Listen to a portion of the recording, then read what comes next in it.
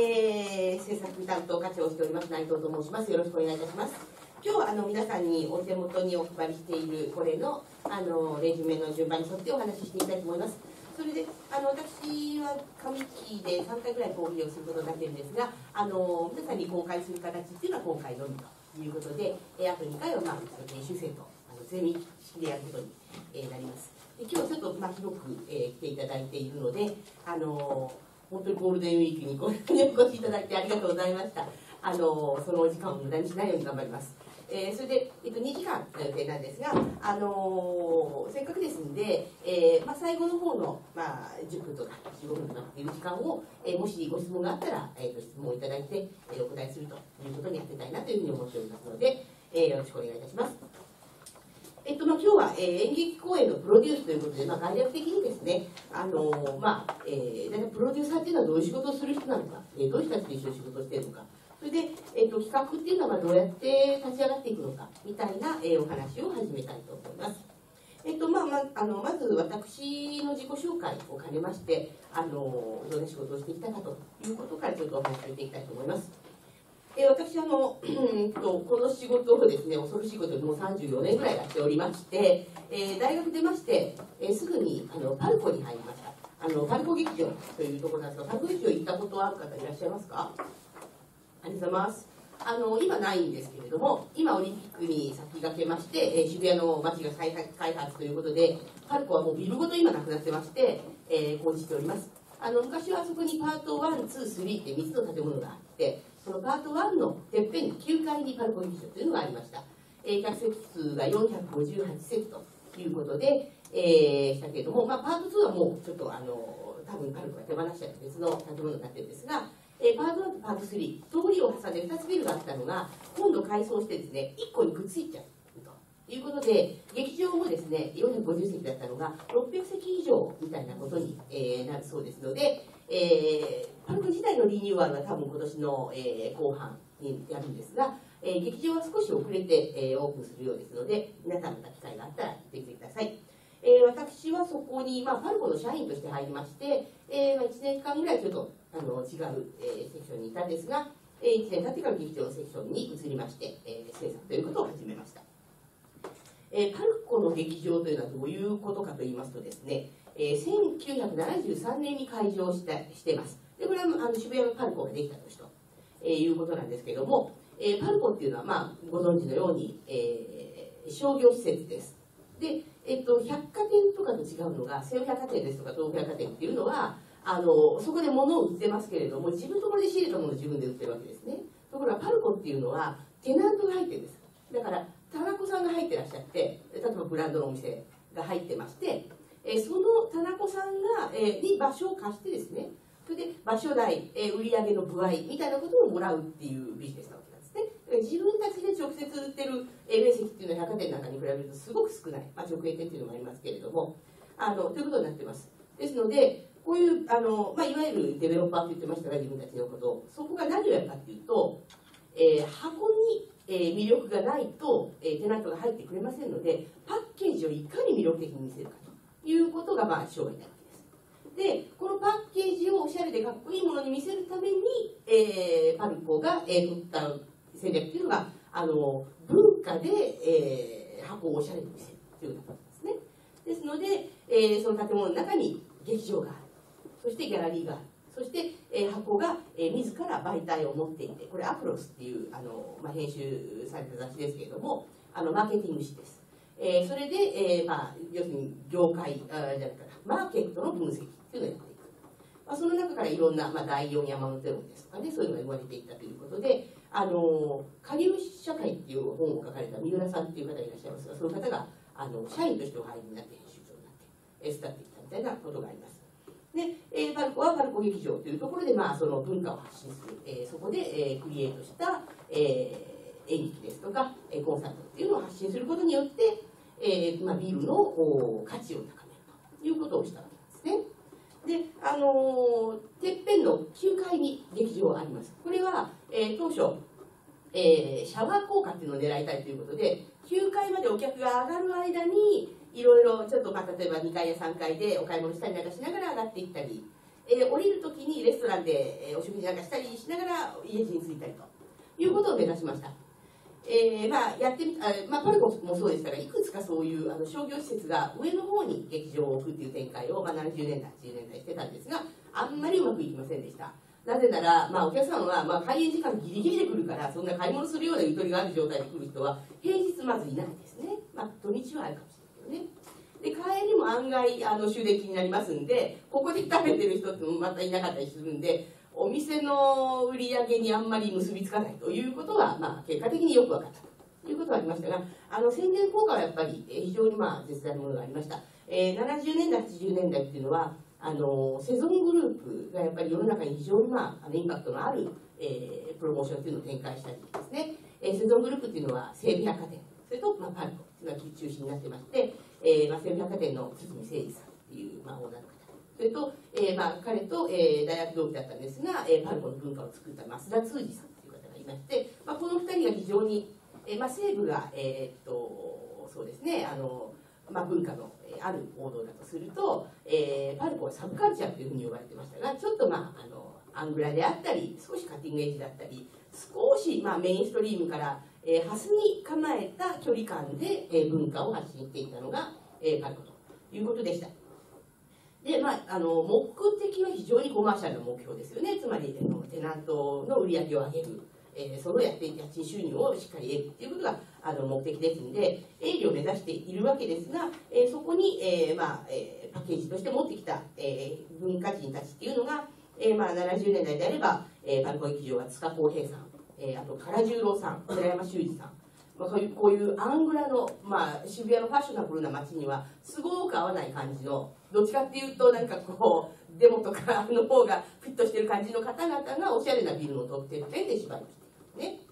えー、いうこと。あと井上久さん、まあ、これあの後にはあの非常に日本をまあ代表する、えー、劇作家としてなっていきますがパルコに書いてらっしゃるところは、まあ、あの地筆堂遅い筆の道ですねあの本当に初日を遅らせる作家として名を馳せてらっしゃる、えー、頃でございました。えー、それから、えーと、パルコで「ショーガール」っていうねあの、えー、オリジナルミュージカルで、えー、細川俊之さんと木の実奈々さんが2人でやるっていうのが毎年12月の、えー、恒例行事になってましてあのオリジナルミュージカルの、えーまあ、先駆けだったっていう感じじゃないかなと思いますが、えー、ここでやってました。で私のおりました80年代はちょっとあのパルコ息切れして低迷してた時期だったという感じですが、え、その後、まあ90年代になりまして、えー、三谷幸喜さんとかあと、まあ、三輪明宏さんがちょっと体調不良だったのが90年代復活して今のようなご活躍をなさるようになってきてあと、まあ、宮本亞門さんとかいったような演出家が、えーまあ、いち早い、えー、若手の時から、えー、顔を見せる劇場ということで、あのー、まあ、その時代時代の一番あの旬の新しい人っていうのを、えー、メジャーな文脈に、えー、動揺していくというのが、まあ、韓国の。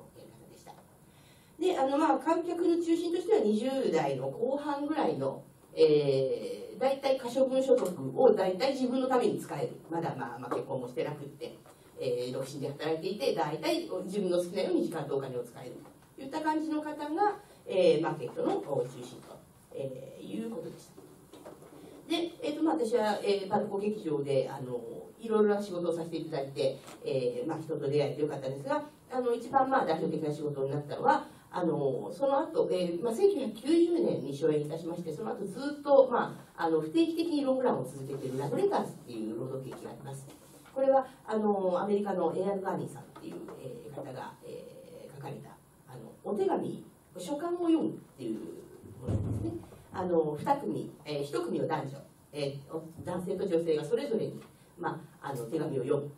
でその間は一切まあ目を交わさないでお互いの声を聞きながらまずっとお互いの手紙を読むわけです。であの2人はもう幼なじみで、えー、非常にまあちょっとお互いに惹かれ合ってるんだけれどもタイミングがうまくいかないんですね。一方が片方好きな時には片方が気がそれてたりとかしてなかなかうまくいかない。であのまあ大学生の時に結ばれそうになるんだけれどもいろんなまあことがあってちょっと結ばれなかっ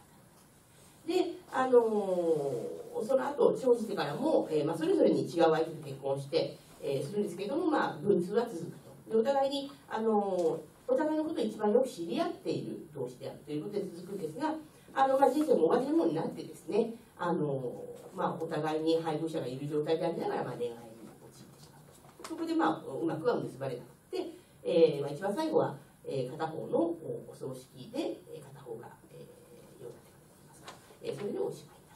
いう物語です。であのこれ非常に感動的な内容で、えーまあ、要するに結婚以外結婚によるよるよらずにかかわらずこれだけ、まあ、あの唯一無二って言えるような、えー、誰かっていうの人生の中で自分を会えることができるんだろうかっていうのを、まあ、考えさせてくれるような、まあ、素晴らしい、えー、戯曲なんですが、えー、これが素晴らしいのはですね朗読なんですねですので普通演劇だったら1ヶ月稽古しなくてはいけないところをこの人々は、えー、まあお家では自分で一生懸命稽古するとしても2人の稽古は1回でいいわけですね。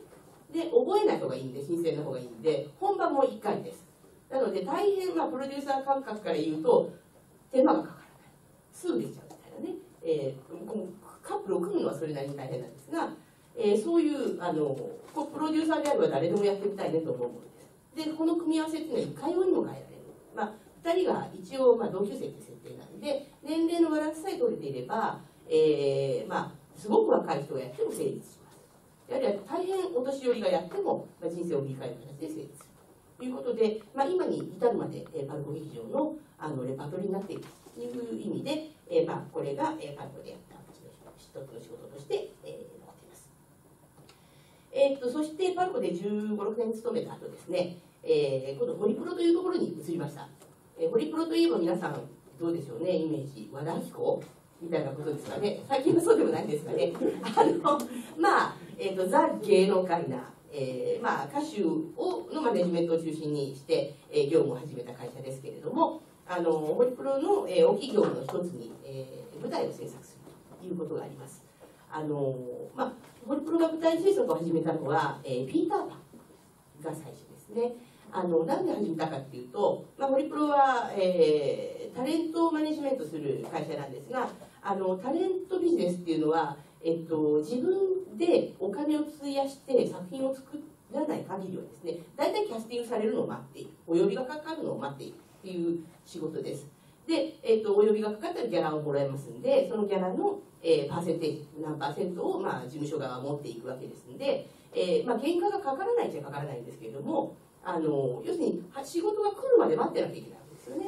でその仕事っていうのもあの、まあ、映像の世界特にテレビの世界っていうのは非常に速い勢いであの俳優さんタレントさんが消費されていきますので旬な人は同じような役割っていうのを振られて飽きたらもうちょっと賞味期限切れるといったようなことになります。で、えっと、これをまあ打開したいということで自分のところに所属しているタレントや俳優の活躍の場を自ら作るということで舞台ビジネスに乗り出したのが、えー、ホリプロが始めたピーターパンということでした具体的に言うと榊原郁恵さんあの今すっかりお母さんのあのタレントさんとして定着してますが、えー、彼女もやっぱり10代20代前半の時っていうのはあのバリバリのアイドルだったんですね、まあ、胸の大きいアイドルということで、えーとまあ、水着関係の露出も多く、えー、人気があったんですが、まあ、あのすごい演技派として知られてるわけでもなかった、えーまあ、胸で勝負っていうのはもう年齢的に限界きますんで、えー、育英をこれからどうしようということでですね創業者の堀武雄さんが、えー、舞台やらせよと思っていろいろこう、まあ、調べに行かれましてブロードウェイに行った時に、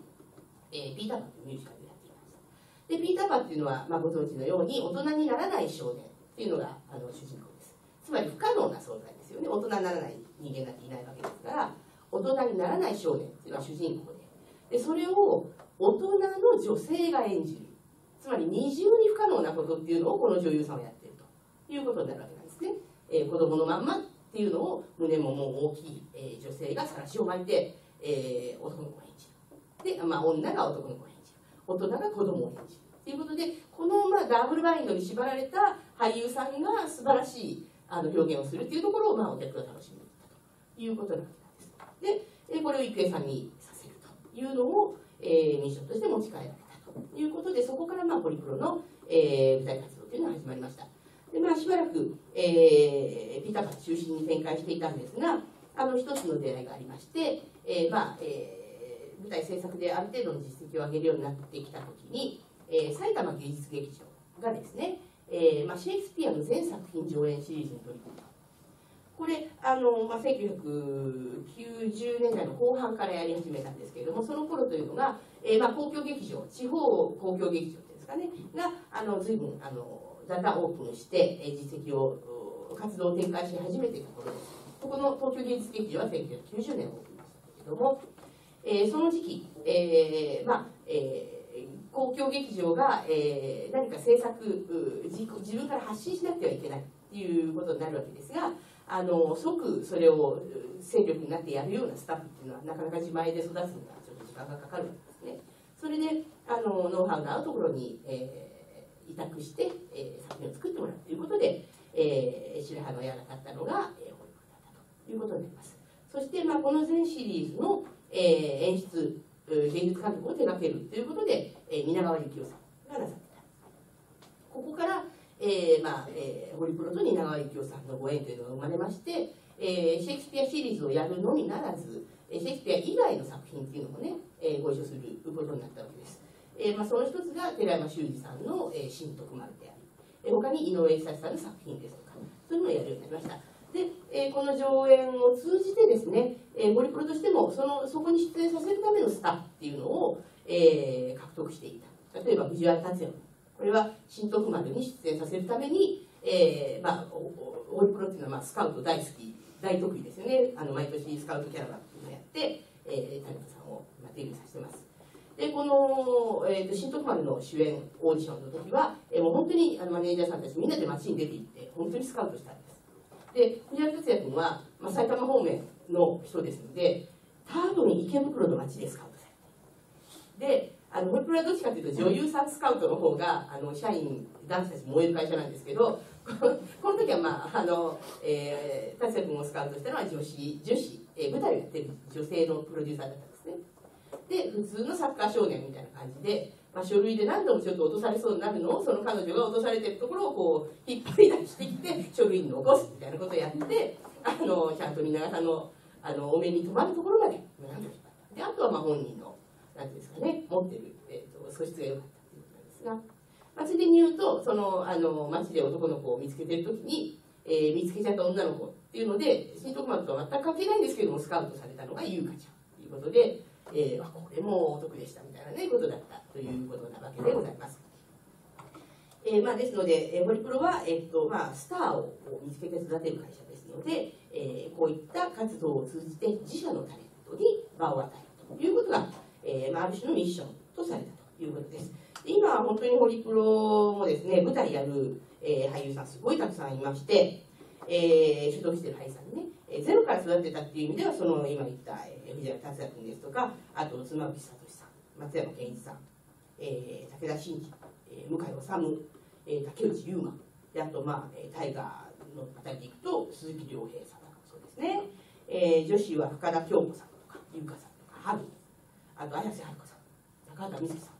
みたいなねなかなかなかなかの、えー、顔ぶれです、えー、ベテラン勢でいくとえーまあ、指揮を執ってる人多いですが市村正親さん加賀武さんそしてあのソフトバンクの犬の声で知られるようになっちゃいましたけど大物俳優の北内恵也さんそして、えっと、吉田鋼太郎さんちょっと今面白い感じのブレイクしてますが、えー、こんな感じの方々が所属しているという感じで、えーまあ、舞台も、えー、ホリプロのかなり重要な、えー、仕事になってきています。で、えー、私はその、えー、パルコでちょっと蜷川さんの芝居に、えー、一番最初の頃に使わせてもらったっていうおつながりもありまして、えー、蜷川さんが、えー、イギリスのですね、えー、シェイクスピアの総本山であるロイヤル・シェイクスピア・カンパニーと、まあ、埼玉の共同制作で「えー、リア王」という芝居をまあ演出したことがありました、えー、これほとんどイギリスの、えー、ロイヤル・シェイクスピア・カンパニーの役者さん。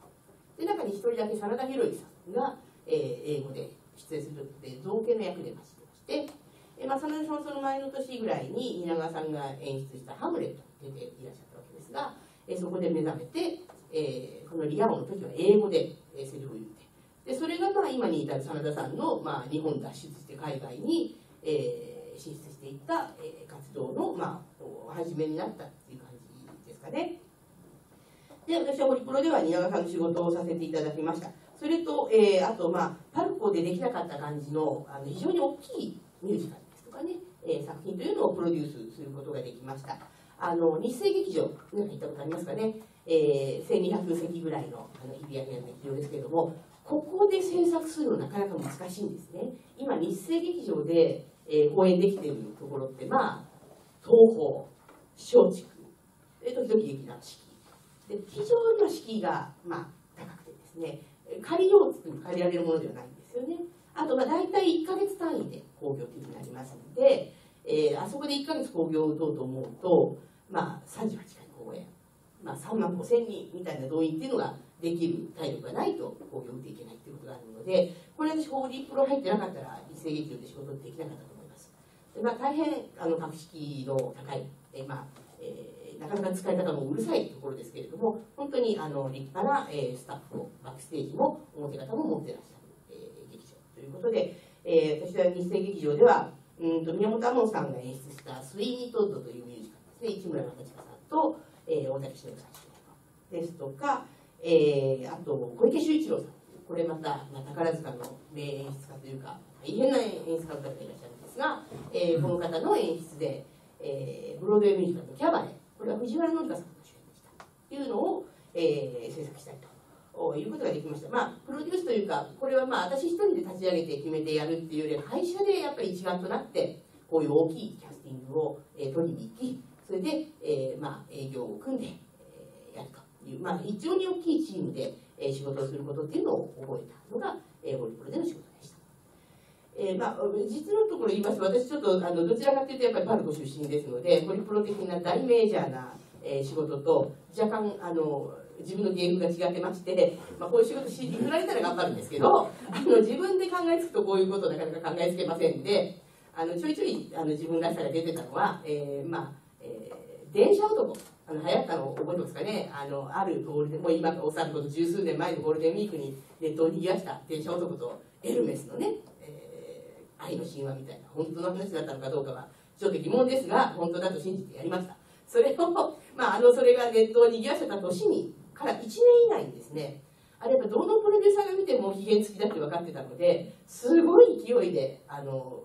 まあ、話が進みました。私はその,、えっと、そのそれがネットに出たゴールデンウィークぐらいの時に、まあ、著作権を取りに、まあ、ちょっと奔走したんですが、まあ、著作権を持ってる人たちが、まあ、ネットの世界にしか関心がない人たちなのでまあ、舞台はみたいな感じの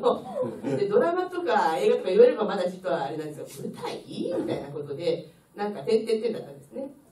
ところがですねあのあっという間に声優さんでやりたいですっていう誰か違う人が現れたら「どうぞ!」って言って、まあ、声優さんがあっという間にやっちゃったみたいなことがあってあれやと思ってたんですがあのそこからまあ1年以内そうですね半年ぐらいして新潮社から書籍が出たっていうことでまあ一応そのベースになる形ができたので、えー、そこから映画は、えー、東宝さんが作られたのかな中谷美紀さんと山田孝之さんが作りました。で、えー、それが一番早くて翌年の春ぐらい。でその夏に、まあ、私たちが舞台化しましてでその9月クールにテレビドラマ「フジテレビ」っていう感じの順位でやりました。で私たちの舞台化は、えっと、これネットの話なんでやっぱり登場人物たち人物がそのネットの画面上で彼らを応援してる人たちっていうのがそれぞれの部屋に閉じこもってお互い顔を見合わせるっていう設定でやりました。なんであのちっちゃい部屋がまあ6つこう積み上がっててみんな画面を見てるわけですね。それで、えっと、だから正面向かって芝居をすると。で真ん中に、まあ、電車男がいるんですがでエルメス出さない。エルメスはもう映像でしか出さない。声の出演言うかみたいなことでやりました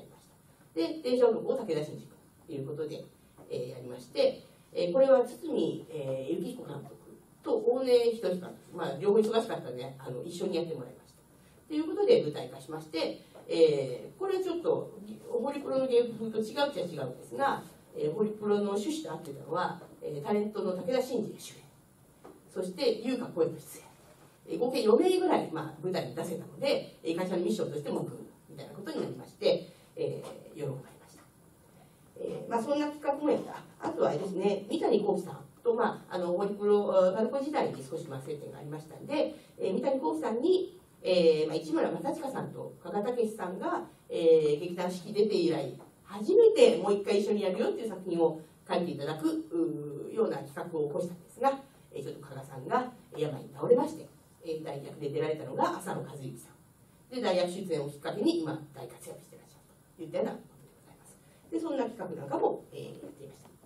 えー、宮本門さんとは水に等々やったりあと今もう本当に演劇界に欠かせない主演俳優になっている井上芳雄君がですね、えー、大学生の時に、えー、出演しました「えー、ファンタスティックス」というミュージカルも、えー、上演したりしました。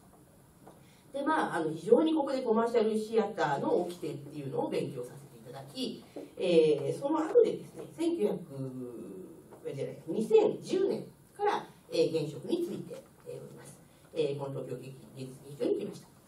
で私としては、まあ、公共劇場の仕事初経験ということになるわけですね。えっと、ちょっと東京芸術劇場のことをご説明します。あのこの劇場1999 1990年に開館しましたので来年で30歳ということになります。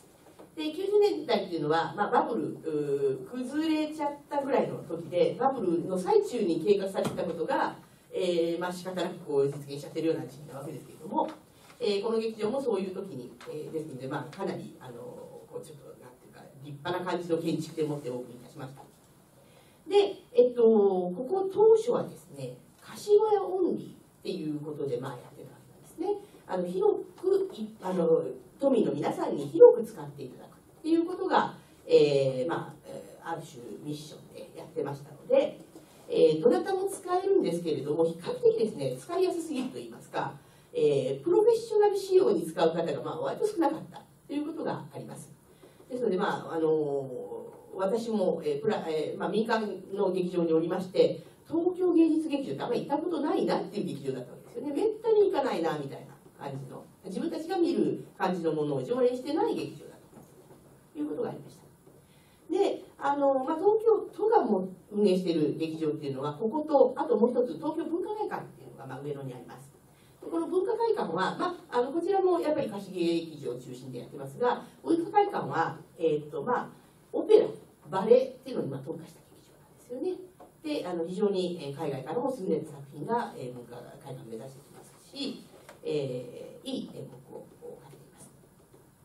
れで、えっとまあ、来年、えー、東京オリンピック開催されることになりますがあの東京オリンピックっていうのを実現するためにですねあの日本は、えっとまあ、都市としての機能が揃っているだけではなくてやはり文化とし文化もお、まあ、非常にあの魅力がある街でないとこの、えー、開催都市も獲得できないとえー、いうこと議論が、えー、おそらく、まあ、2000年代最初の方に、えー、なされていたと思います。それで、えーと、この東京芸術劇場っていうのも党を代表する顔でありながら貸してるだけで発信してないとこれはどうなんだ？問題じゃないかということでですね、えー、東京を代表する文化の発信の、えー、劇場になろうということになったわけです。それで、えーと、2009年に、えー、野田秀樹さんが芸術監督に就任したと。いうことがこれあの一大転換なことになります。えー、それまではですねあの、まあ、館長さんという形で小田島雄一さんというあのシェイクスピアの戯曲を前訳なさった方ですけれどもこの方が館長さんにいらっしゃいまして、えー、まあ基本貸し劇場ではあるが年にそうですね1か月だけミュージカル月間っていうのを設けてあの、まあ、ちょっとその公募で、審査された優れたミュージカルに、えー、無料で劇場を提供するみたいなことはやってました。それと、まあ、小田島さんのつながりで、えー、ロイヤル・シェイクスピア・カンパニーの作品っていうのを、えー、何本かこちらに主催事業として招いたことはあったんですが、えー、それ以上の自主事業というのをやってなかったところで、えー、野田芸術家が就任することで野田さんは就任の時からですね。あの発信していくぞということを非常に宣言なさいまして、えー、自主制作をする。それと、えーまあ、西口かなり寂しいお寂しい山な感じだったので西口ににぎわいを作る。ここをいつも劇場を人があの埋め尽くしている。あの賑やかな場所にする。ということそれと若手演劇人たちっていうのがここでやりたいって集まってくるような、えー、若手の作家演出家、えー、俳優っていうのを、えー、呼び込む劇場にしたい。それと、まあ、野田さん自身がえーまあ、若い時といいますか1990年代の最初の方に、えー、ロンドンに1年間留学しまして、えー、非常にあの、まあ、価値観揺さぶられて帰ってこられました、えー、海外との、まあ、海外に対してですね日本って、まあ、あの海外の、まあ、劇団ですとか劇場からよく言われるのは日本公演行きたいんだけど誰にコンタクトしていいのか分かんないね、顔がどこにあるのか分かんないどこに行っていっていいのか分からないというのをよく言われます。であのその役割っていうのを芸劇が果たしたいと。あの、まあ、持っていく、えー、も持っていく両方持ってくる持っていく両方の窓口になりたい。で共同制作みたいなことをやっていきたい。というふうに、えー、表してくださいましたでこれさっき埼玉のところで言ったと同様にですねここも、えー、可視化のみやってましたんで制作するスタッフがいなかったということでまあ私も含めて、えー、即今からできるっていう人がまあ借り出されたということがありまして私は2010年から、えー、こちらに来ています。一番最初は、えー、やはり蜷川さんのお仕事ということで、えー、蜷川幸雄さんが演出して、えー、これイスラエルと共同制作したんですね。あのトロイアの女たちというギリシャ悲劇を、えー、白石佳代子さんが、えー、主演ででこれは、えーと、3つの文化圏の、えーと、イスラエルに住んでいるユダヤ人とイスラエルに住んでいるアラブ系の人たちっていうのと日本人の3カ国語で、えー、上演するというプロジェクトでした。まあ、なぜこれができるようになったかというと、えー、まずはイスラエルのプロデューサーが蜷川さん演出してくださいということで訪ねてきたという時に蜷川さんがえー、かつてですねあの皆さんすごく世界中あのいろんな作品持って、えー、旅なさってましたがあの一番最初に旅を始めた頃の「オージョメディア」という作品で、えー、旅をしてた時に、えー、イスラエルのツアーっていうのを組み込まれていたそうです。で、えー、テルアビブだったかエルサレムだったかで上演するということが決まってたんですがその時のパレスチナ自治区でもどうしても上演したいというふうに皆さんが言ったところあのイスラエル側は非常にまあ態度を硬化させてもうあのイスラエルの公演がなくなっちゃったと。でかといってまあいろんな妨害があってパレスチナでも公演できなかったということがあってあのまあ、自分はそそこでちょっとそれに関する挫折っていうのを味わってこれ宿題で残ってたということがあったので、えー、これをなんとか実現させてみたいということで、えー、この企画を受けられた。でですのでイスラエルに出した条件というのはアラブ系の俳優とも一緒に仕事するんじゃなきゃいけないという条件を出した。でこれまあイスラエルの劇場にとっては非常にまあ難しいミッションといいますかなわけですね。でイスラエルの劇場も、まあ、あのですのでそのパレスチナ問題というのを内側に抱えながら、まあ、イスラエル人全員があのパレスチナに対して排斥する気持ちを持っているかというとあの、まあ、そうでもないんですよね。やっぱりそのパレスイスラエル人々も世界中を追われてきたユダヤ人が先住民族のパレスチナ人を追い出して自分たち住んでるわけですのでそこに対してどうなんだっていう気持ちを持っている人もまあいるわけなんですね。その難しいところを、えー、せめぎ合いながら、えー、まあ、形としてはやっぱりイスラエルの劇場との共同制作だったんで、えー、そんなのは欺瞞であるとかいうような、まあ、バッシングがたくさん受けましたが、まあ、えー、なんとか実現した。でこれはあの蜷川さんのご縁のある民間の劇場制作会社っていうのはいくつもありますがどこもやっぱり恐ろしくて手を出せなかったものであるというのを、えーまあ、ここの劇場を引き受けるということにしたということでですね私は、まあ、縁のあるホリプロから じゃあお前行ってやってこいということで最初出向して、えー、ここに来まして、えーまあ、23年経って、えーまあ、やっぱ公共劇場でやることの意味というのを非常に、まあ、感じたので、えー、ホリプロに戻らないで残っちゃったということで、えー、今ここに、えー、いるということでございます。えーまあ、ここでやった仕事はその蜷川さんのお仕事それと、まあ、あの野田芸術監督とね直接仕事できるというのがやっぱここにいるすごくあの魅力的なところです。野田さんというのもですね、まあ、野田マップっていう、まあ、自分の制作会社を持ってらっしゃいますので、えー、まあ、なかなかそこそこで、えー、新作のクリエーションをしていくということがあのありますのでなかなかご一緒する機会はないんですが芸術劇場は野田さんの海外に発信していく作品っていうのをですね制作しています、えー、英語で上演する、えこれまでやったものでいくと「えザ・ビー」それと「ワングリーンボトル」という、まあ、いずれも、えーと、ちっちゃい作品なんですけれどもあのイギリスを代表するキャサリン・ハンターさん大変キャラクターのある女優さんがいますが、えー、その方と一緒に作れたというのを、えー、ザ・ビーはですね世界10都市、えー、公演に参りました、えー、ワングリーンボトルは、えー来えー、去年うんとロンドンとルーマニアで上演してその前、まあ、東京と韓国で上演いたしまして来年以降またニューヨーク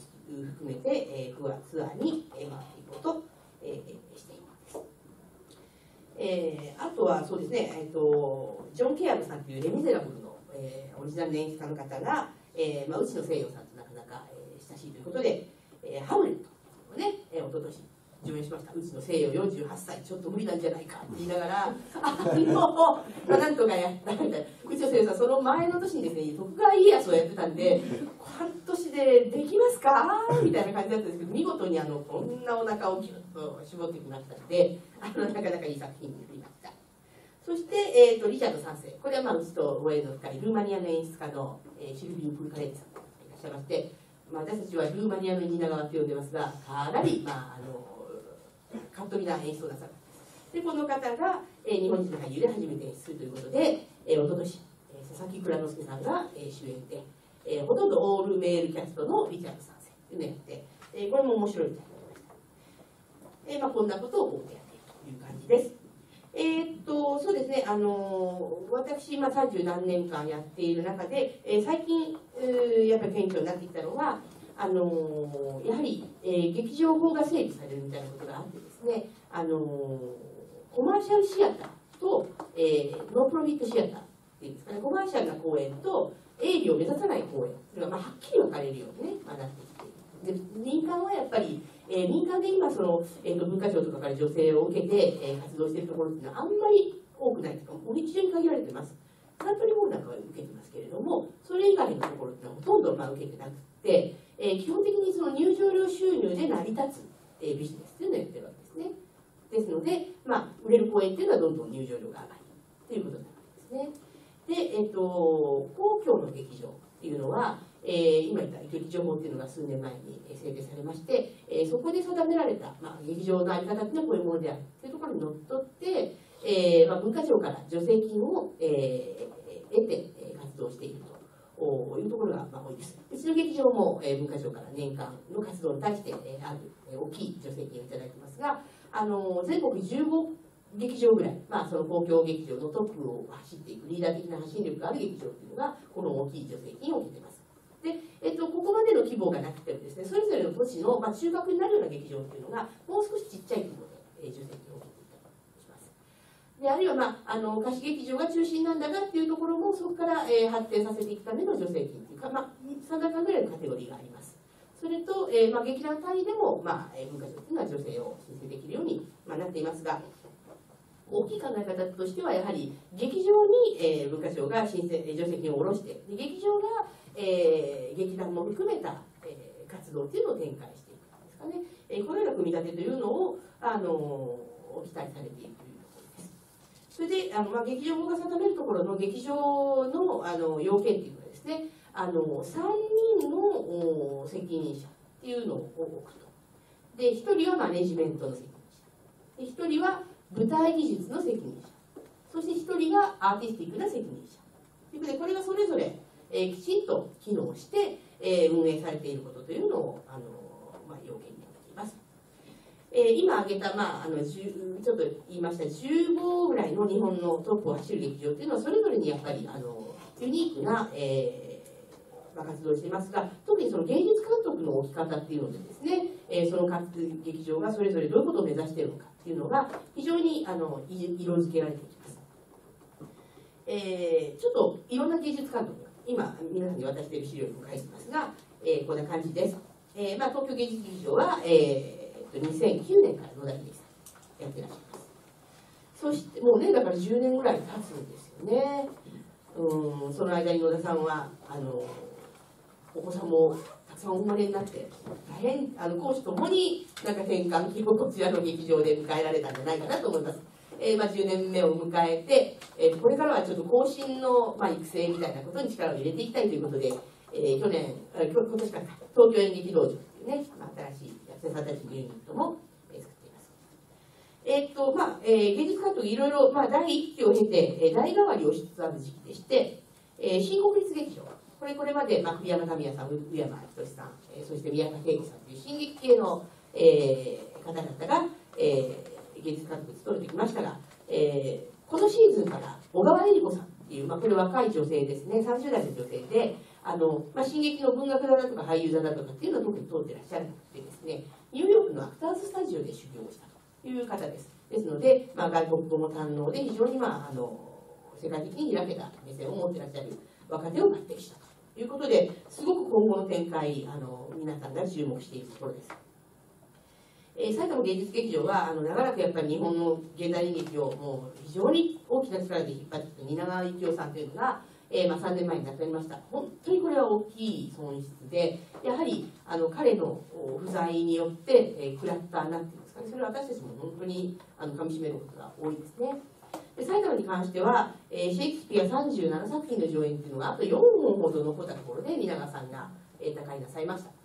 それで、えーと、その、まあ、4本最後までコンプリートしようというのを吉田鋼太郎さん彼は、まあ、優れた俳優であるのみならず、えー、ご自分でも、まあ、劇団主催していらっしゃったりして、えー、シェイクスピアの演出もなさってます。非常に、まあ、作品熟知していらっしゃいます。あのシェイクスピア作品前作上演したシェイクスピアシアターっていうカンパニーがあるんですがそこから出ていらっしゃいますのでもう本当に全部していらっしゃるということで、えー、彼に、まあ、主演もして演出してねっていうようなことで託されていかれたんだと思いますで、えーと、同じく蜷川さんが芸術監督をなさってたシアター国こちらはですねえっとまあ、やはり、えー、芸術監督は不在ということに、えー、なってますね。えーまあ、シアター国は最近は、えー、海外からあの、えっと、演出家を呼んで、えー、上演を続けていくことが多いようです。えー、近県の劇場で、えー、神奈川芸術これは、まあ、オープン当時、えー、宮本亞門さんが、えーまあ、短い期間芸術監督を進められまして、えー、白井明さんにバトンタッチなさいました。で白井さん非常に、まあ、あの演目の細かいところから、さまざまなプロモーション的なところまで、えー、目配りをさせて、えー、うん、神奈川劇場のレパートリーをすごくあの充実させたものにしていらっしゃったんですけれども、あのまあ、そろそろ、まあ、60ということでご自分の活動に戻られるということで、えー、その後任に、えー、長塚圭史さんこちらもまあ若手ですよね40代ということで、えー、彼が、えー、後任を受けるということがもう発表されています、えー、世田谷パブリックシアターこちら野村萬斎さん表現師の野村萬斎さんですね。こちらがもう長いことやってらっしゃいます。で萬斎さんはあの狂言に足を置きながら、えご自分自身もシェイクスピアを演じたりとかですね、え現代演劇との、まあ、交流、え現代能学習みたいなシリーズを作なさったということで、えそこの、まあ、行ってこいっていうのをすごくあのやってらっしゃる方です。まあ、その業績もあって、えー、来年の東京オリンピック・パラリンピックのピックのあの開会式の総合演出ということを任されていらっしゃいますね。あのまあ、マーサイさんがトップに立っていろんな方の、まあ、コーディネート調整をなさって、えーまあ、オリンピック・パラリンピックそれぞれに、えーと、映像のあの監督が立っていらっしゃいますので、えー、具体的な演出はその方々がなさるかもしれませんけれども、えー、そのような、役割も持っていらっしゃいます。えー、東京都内でいきますとあと、まあえー、同じように区の劇場で、えー、杉並区のザ・高円寺これは佐藤誠さんという演出家の方ですね、えー、この方黒テントの方ですが、まあ、あのなんていうんですかねあの芸術監督請負人といいますか劇場会場請負人といいますかあのこれこれまでにあのスパイラルホールですとかあの文化村ですとか、え世田谷ですとかそういったところの、えー、オープンして、えー、劇場のカラーを定めるっていうような、えー、ミッションを追っている時期の芸術監督っていうのを務められている方です。で彼が、まあ、高円寺を今やってらっしゃいまして、まあ、高円寺はあの区の劇場で、えー、そんな大きい劇場ないんですけれどもいくつかの小劇場っていうのは建物の中にありまして非常に、えっと、ユニークなのは阿波踊りの劇場を持っていることですね。あの高円寺といえば阿波踊りということでずっと阿波踊りをやってる劇場っていうのはその施設の中にあるというこれ高円寺じゃないとまずないことですので、えー、この辺りがユニーク。そしてあの本当に近隣の方々がいつでも来られるような、まあ、カフェずっととても素敵なカフェっていうのが、えー、あったりする、えーえー、とちょっと、えー、他の県に、えー、目を移してみますとスパック静岡、えー、ですね、え、こちらは宮城聡さん、まあ、船岡という劇団を率いてらっしゃる方なんですけれども、えー、彼が、えー、芸術総監督。もともと鈴木忠さんやってらっしゃる。鈴木忠さんもあの日本の、えーと、現代演劇の超巨匠でですね、えー、世界でも鈴木メソッドといえば誰でも知っているという、まあ、日本人独特の,、まあ、あの重心を落として、え床を踏み鳴らす形の演法方法みたいなことで、えー、演出なさる方ですけれどもその鈴木忠さんは、えーまあ、非常に行政とですね渡り合って、えー、行政に、えー、劇場の意味っていうのを認めさせて、えー、お金を引き出してくということをなさった方です。これまで今は、まあ、都が都がというね富山のもうものすごい奥深いところにあって、えー、ここから行くのにまあほぼ片道どうですかね12時間じゃ行けないよみたいなところなんですけども、えそこに拠点を構えていらっしゃいますでこの戸賀の村っていうのも彼が行って、まあ、劇場を中心にやっぱり毎夏、えもうそこを詣でる人々が、えいるような、えところに変貌しましたね。でそこに行く前にこの静岡やってらっしゃってでその前は水戸。水戸に芸術館っていうのがありますけども水戸市でやってらっしゃいました。で水戸でなさった時はですねあの市の予算の1%をこの芸術館に使うっていうことでもう私らみんなもう度肝を抜かれてええーみたいな。ことでしたさすがに今は1%もらってないみたいです。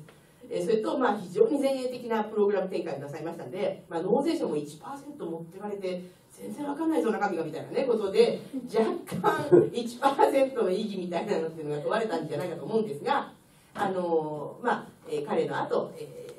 ーまあ、彼の志を継ぐ後任者がいた後あの高橋千佳恵さんっていう皆さんご存知あの「アナと雪の女王」の「レッティット・ゴー」がありますねあれの役詞をなさった方で彼女がまあ芸術監督で入っていて、えー、彼女になってかなりミュージカルを一生懸命やる劇場になったので、えー、まあ市民も大変愛着を増したみたいなことっていうのもあるみたいなプロセスを経ています。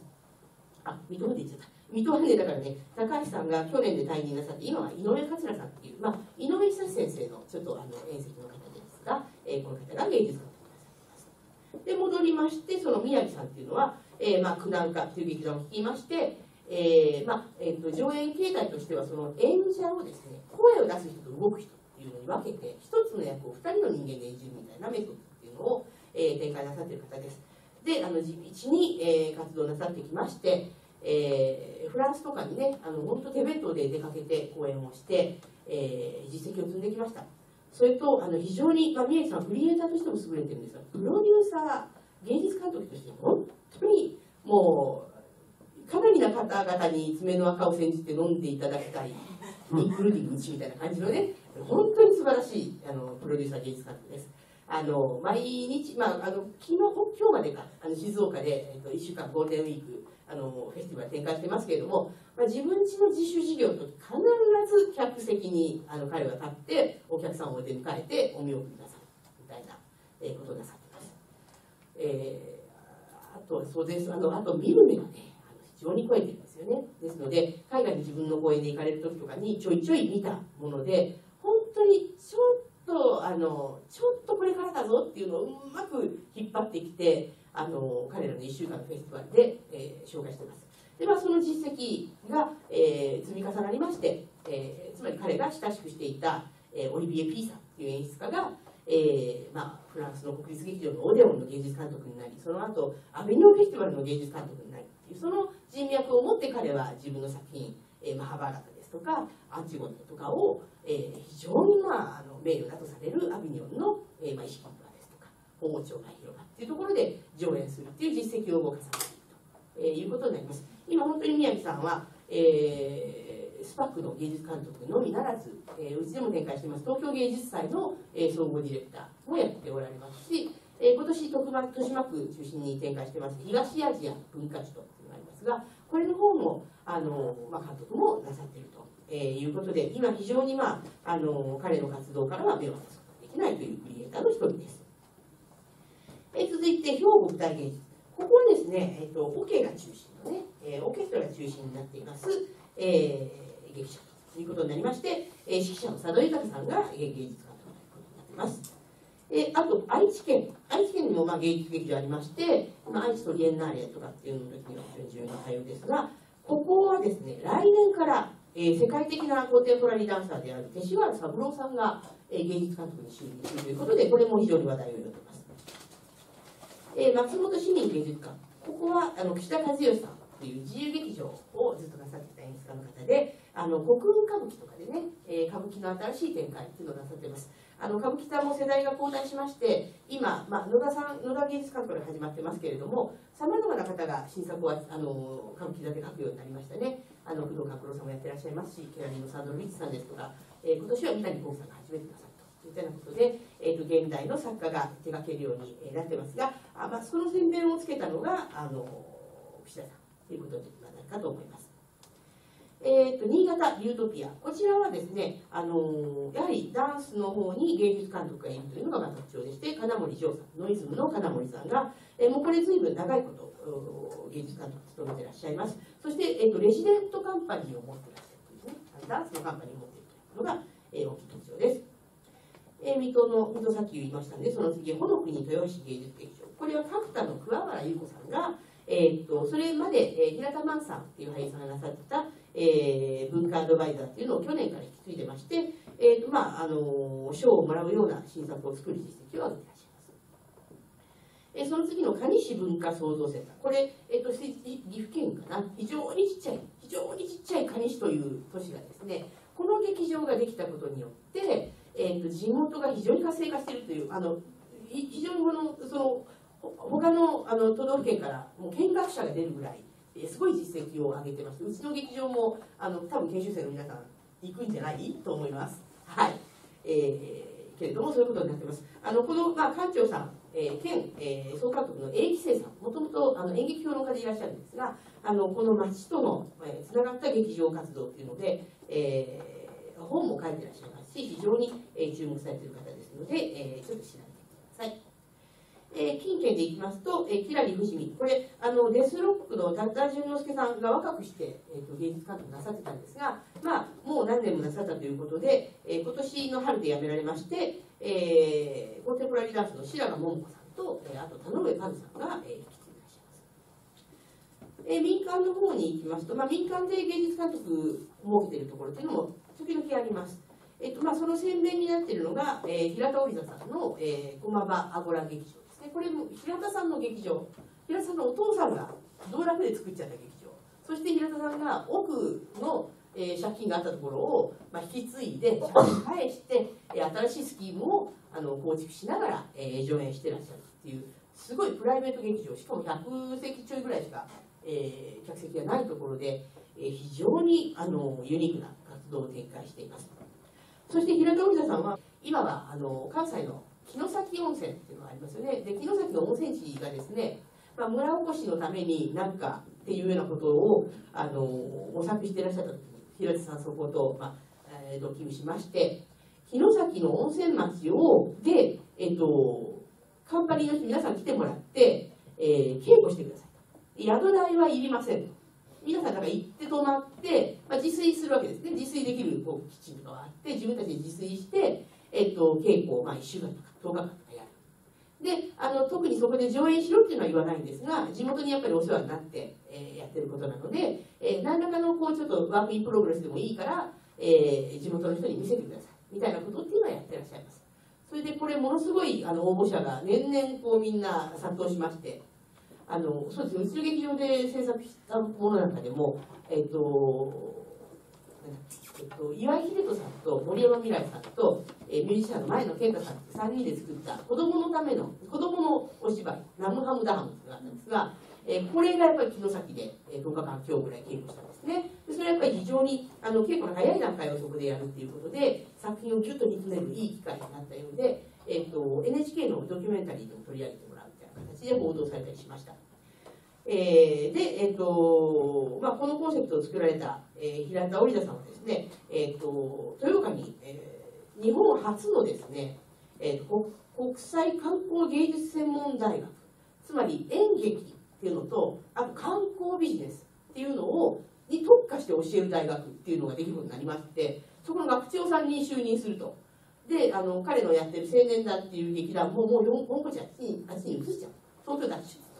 言ったようなことが、えー、報じられているということで、まあ、長らく東京一極化集中っていうことは、えー、問題だ問題だって言われながら、えーまあ、なかなか風穴開けられなくているんですが、えー、こんな動きも起こってきているということです。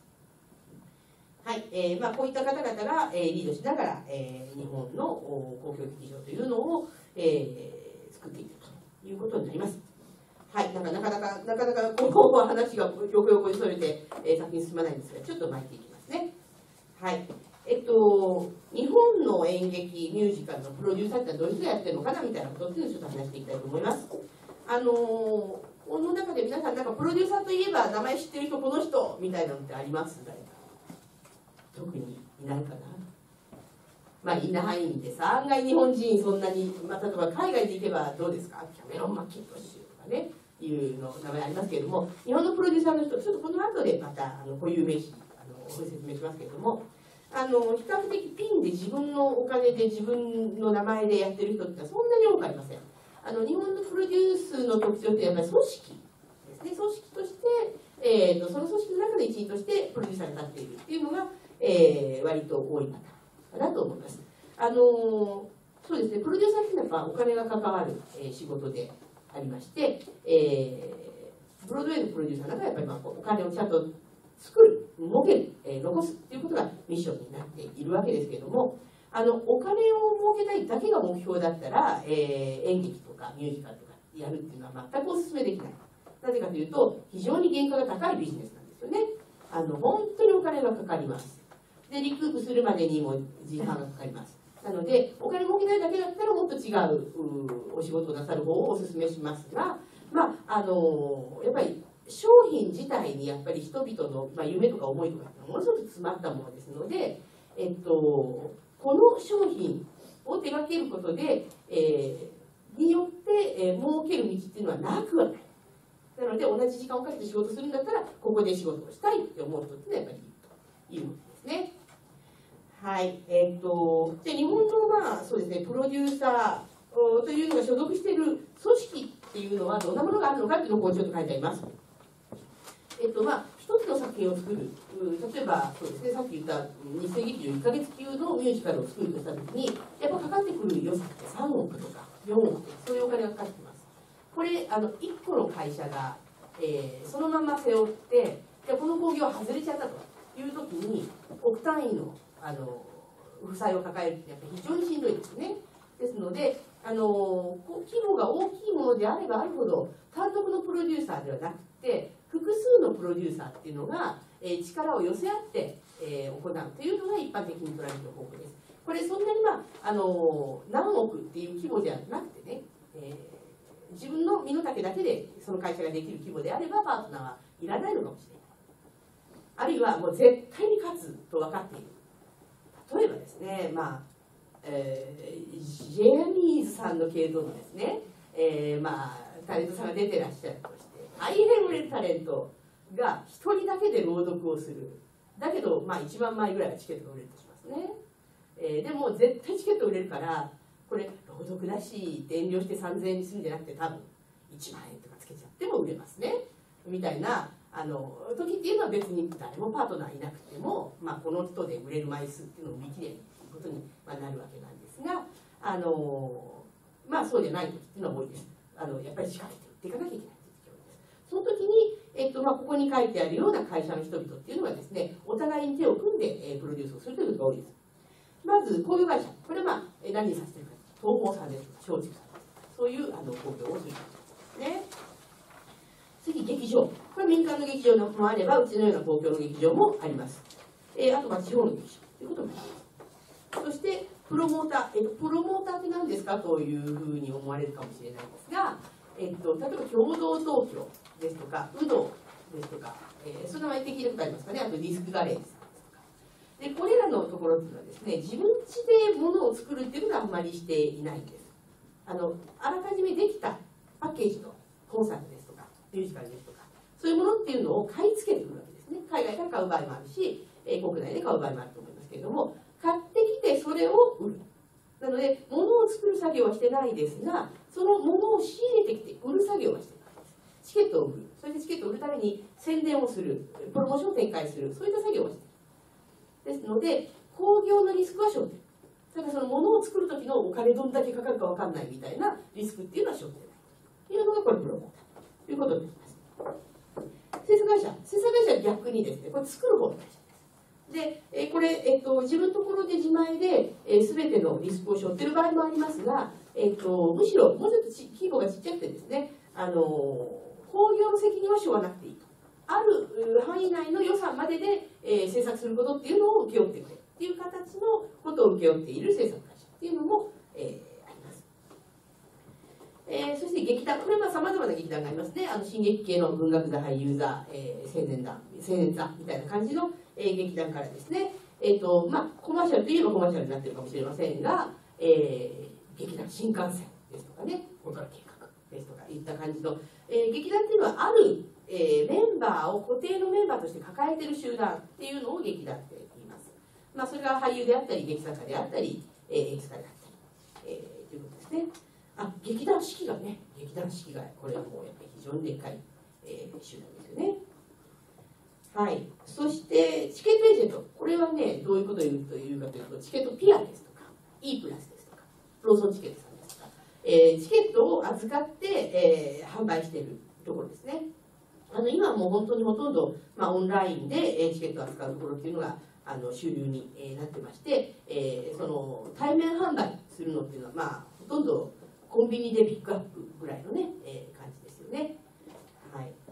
えー、そしてタレント事務所。あのこれ先ほどホリプロのところで説明していたような感じで、えー、タレントの事務所っていうのが自分ちのタレントを、まあ、主演俳優に据えるというようなことで、えー、興行に参加しているっていうのはこれ結構あります。ホリプロだけじゃなくて、まあ、先ほど言ったジャニーさんですとかあと渡辺エンターテインメントさん昔の鍋プロですね。とかアミューズさん。アミューズはまああのまあ、さまざまな、えー、ミュージシャンからタレントから持ってらっしゃいますけれどもあのスーパーエキセントリックシアターですとかあと大泉洋さんたちがいらっしゃるナックスですとかこういうのをマネジメントね、えー、してたりします。えー、そしてあとはどこかな、まあえー、いろいろとタレント事務所があシスカンパニーともそうですね、えもともと野田マップさんとシスカンパニー一緒だったんですけれども、えー、野田さんと、えー、プロデューサーの木村さんっていうのが別々の活動をするようになりましたんで今、えー、シスカンパニーさんは、えー、野田さんの作品は、まあ、全然やってないんですけれどもシスカンパニーの俳優さんで、えー、を中心とした舞台というのを作ってらっしゃいます。はい。そしてテレビ局ラジオ局新聞などの、えー、マスメディアの事業局。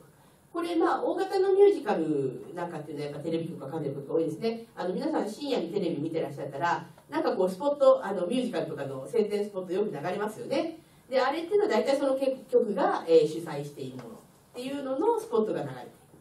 あのテレビスポットも今まあ様変わりしてるとは思うんですが、えー、やっぱりテレビスポット1本流すのにものすごいお金がかかります。ところが、まあ、自社の自社でやってるものであると、えー、その安い枠みたいなのがあったりするんですね。安い時間帯安い枠っていうのがあったりします。であのテレビ局さんが取材に入っていたらそういう枠のスポットっていうのをあの何本か、えー、持ってくることができる。やっぱり1回その画面画面って今言わないかもしれないけど画面に映るとやっぱ相当な数の人が見るっていうのはこれはまあ依然としてあのありますので、えー、そういうことですね。はいでまあ、こういったところが主な、えー、その主催者として要するにプロデューサーたちとして名前を連ねる、えー、組織ということになりますけれどもこれそれぞれの組織がそれぞれの媒体なり強みを持っています。えー、例えば劇場である劇場そのものを持っているでですので、えー、どっか劇場満額で借りに行く必要はなくて少なくとも少し割引価格であったり場合によってはタダで劇場を使うということができる、えー、テレビ局は今言ったようにそのスポットを流してるでチケットエージェンシーであればチケットエージェンシーっていうのはチケットの売り上げの歩合をもらってるわけですからチケットを売れないともう自分のところに収入が発生しないわけですよね。ですのでチケットを売るためこれは動きが鈍いなっていうことがあったらそのチケットエージェントが持ってる自社の媒体にどんどん露出していくみたいなことっていうのをまあやってで制作会社っていうのはやっぱりそのマンパワーを持ってはその制作のノウハウとマンパワーを。持って劇団は俳優を持っている、えー、みたいなね。えー、それぞれの、えーまあ、メディアを持っておりそれぞれの強みを持っています。でそれを、まあ、芸家に近い形で、えー、持ち寄ることによってこうプロデュースができていくと、えー、いうことに、えーまあ、なるわけですね。はい、でえっとまあそのそれぞれ、えー、の思惑があって、えー、の関与の仕方になるわけですけれども、あの、ここでまあ起こってくる議論というのはミッションつまりそのそれぞれのプロデューサーたちっていうのは一体何を目指してこの活動に、参加しているのかということなんですよね。であのプロデューサー、まあ、例えば私のようなプロデューサーっていうのはあの自分自身が、え置いたいミッションっていうのはあります自分が自分のあのプロデュースする作品で、えー、実現したい何かっていうのはもちろんそれここのあのプロデューサーが持っていると思います。私に関しては私はやっぱりまあ女性でシングルでやってきているプロデューサーなので、えー、まあ自分のそのまあ人生の軌跡っていうのと作品がリンクすることがやっぱり多かった。あの例えば、えー、そうですね40前後ぐらいのこれ子供を産むのか産まないのか産めるのはいついつまでだったみたいな時期っていうのはやっぱりその体内の時計が鳴ってる状態が、えー、主人公が、えー、いる戯曲とかっていうのをやっぱりやっちゃったりねするんですね、えー、やっぱり自分の人生のテーマと作品っていうのは結構密接えー、でそれと、まあ、集団の目指すものまた別なんですよね。私の今まで勤めていたところで言えばパルコ劇場っていうのはパルコがかっこよく見えるものやでホリプロにいればホリプロのタレントに場を与える。ホリプロのタレントが出てあ素晴らしいと思ってもらえる舞台を作るのが、まあ、まず第一。でじゃあ東京芸術劇場なんだ。あの東京都の顔として、えー、世界に見せることができるそうっていうのをやっぱ追求して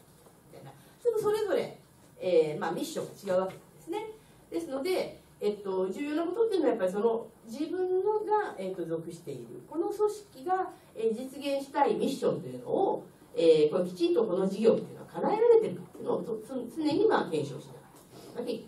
特に公共の劇場の場合は税金を使っています。ですのでこのミッションっていうのを掲げた活動っていうのを納税者の皆さんがうんよろしいというふうにやっぱり言ってくれないことにはですね、えー、継続していけないということになるわけですね。これあの、まあ、資本主義の社会での、えー、原則はやっぱりステークホルダーの、えー、満足というのは非常に重要。これに関わるえー、利害が関わる人っていうのに満足を、えー、提供してないと、えー、その活動っていうのは持続性を持てないということにいうことなんですね。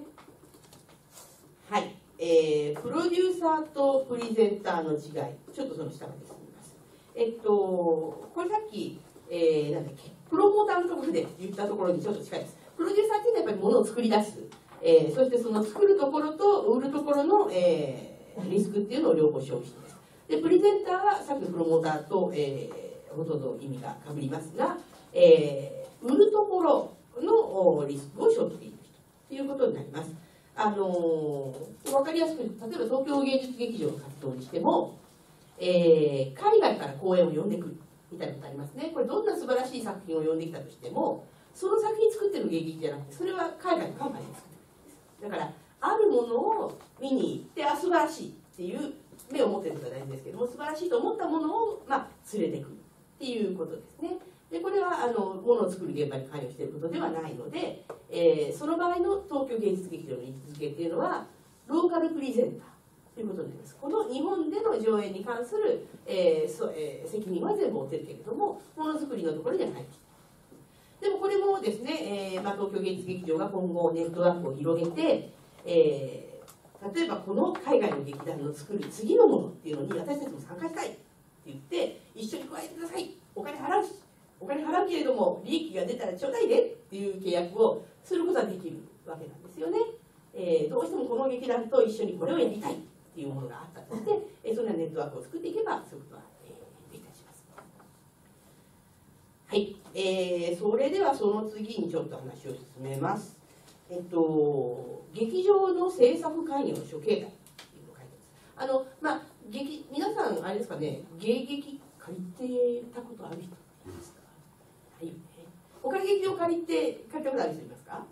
なんか。あの劇場の中にいない人が、えっと、どっかの劇場を使いたい時に大体行って申し込ませていただいて使わせてもらいますが普通ですね、まあ、劇の場合なんかもそうです。申込書があって提出して、まあ、月に1回審査会みたいなのがありましてそこでまあ運営している委員の方々が、まあ、ちょっと重なってる企画がある場合にはこちらよりもあちらの集団に使ってもらう方がいいかなみたいなことというのを、まあ、企画を見比べて決めていくということになります。で、あのまあ、劇場側からするとですね劇場の使い方っていうのって何段階かの、まあ、レイヤーにがあります。で大きく分けると自主系自分家で使ってる系っていうのと貸し系他の人が貸している系。で、えっと、貸しっていうのはですね、まあ、大体貸しちゃってますんで、えー特にこういう公共劇場の場合だと決まりにのっとった、えー、レンタルっていうのが発生するということになります。で自主経営の中にまあいくつか段階がありまして100%自主。これはもう全部自前で制作もして、えー、劇場も使う。でその劇場費に関しては、えーと、これね、えーと、劇場によって、えー、いろいろです。もうすっかり自分家の持ち物になってしまっているのに劇場費払わなくていいですっていう劇場もあるんですが、まあ、現役の場合はこれ東京都の持ち物というのを、えーと指定管理をを受けている、え財団が使っているという形になってまして、え実はまあ定価の半分ぐらいのお金っていうのがこれ劇場を使った瞬間にもう全部発生しちゃうっていうことになるんですね。ですので自主事業であってもまあ、ここ大体定価がそうですね、えっと、プレイハウスで1日使うと80万ぐらい賃料をもらってますがそれ40万ぐらいというのはどうやっても出ていっちゃうというふうになるわけなんですね。これちょっと厳しい条件です。あの他に比べまして、えー、これ予算に組まなきゃい。けないちょっと辛い状況。でまあ100%、えー、自分のところで、えー、支出も収入も管理しているというのがこれ自主事業。で次のレイヤーに共済事業となります。これはうちも主催の中に入っているけれども先ほどいろいろ例に出しましたあの工業種ですとか、えー、テレビ局ですとか制作会社とかそういう他の団体と一緒に、えー、主催しているこれ共催っていうふうに言えます、まあ、芸劇なんかはですね、えー、共催させてもらってる団体さんっていうのは、えー、野田マップさんですとかねホリプロさんですとかパルコさんですとかっていうあのまあ、きちんと制作能力のあるほかただし芸劇とかなり色合いの違う団体っていうところと、えーまあ、共催しましてお互いに持っている力を出し合って、えー、やってます。えー、これは、まあ、あの共催の考え方っていうのは、えっと、支出を負担し合った割合に応じて収入分けっていうのは基本的な考え方なんですね。ですので支出例えば支出が1億だったとするで芸劇が6000万負担したとします。で制作会社が4000万負担したとします。そうすると6対4なので収入も入ってきた収入の6を芸劇もらうようで4をそちらが持ってくださいっていうのがこれ、まあ、共済の割と基本的な考え方っていうことになります。ですのでこれはあの例えばコストが膨らんじゃったらやっぱ64の割合で、えっと、たくさん持っているところの方がいっぱいしょわなきゃいけなくてしんどいことになる。で収入は、えっと、入ってくれば入ってくるほど64の6の大きい方がちょっと多めにもらえるということになります。なので、えっと、物を作る方の金,、えー、金銭リスク。で入ってくるお金の金銭リスク。両方分け合っている。という考え方です。でもこれあのなんでしょうね。入ってきたお金とかも全部付け合わせしなきゃいけないんでなかなか、えー、煩雑な作業をすることになります。でそのもう一個下の段階。定型これはですね劇場が定期って言ってる時っていうのはねどういう時が多いかというとちょっと劇場費安くしてますみたいなね。あの普通に貸すよりも、えー、ちょっと安めにお出ししてますみたいな時が多いです。であのー、実質まあえ、ー、と物を作る作業とかっていうのはそれ先様の団体が、えー、やってらっしゃるという場合が多かった、えー、これはですね、えー、こう劇場としては応援したい若手の劇団ですとかあるいは劇場としてすごくいいテナントなんでここの劇団っていうのは他の劇場に持ってかれなくなってうちに留めておいてほしいなというところとかはちょっとサービスしますんでうちでやるみたいな話っていうのをしていくんですね。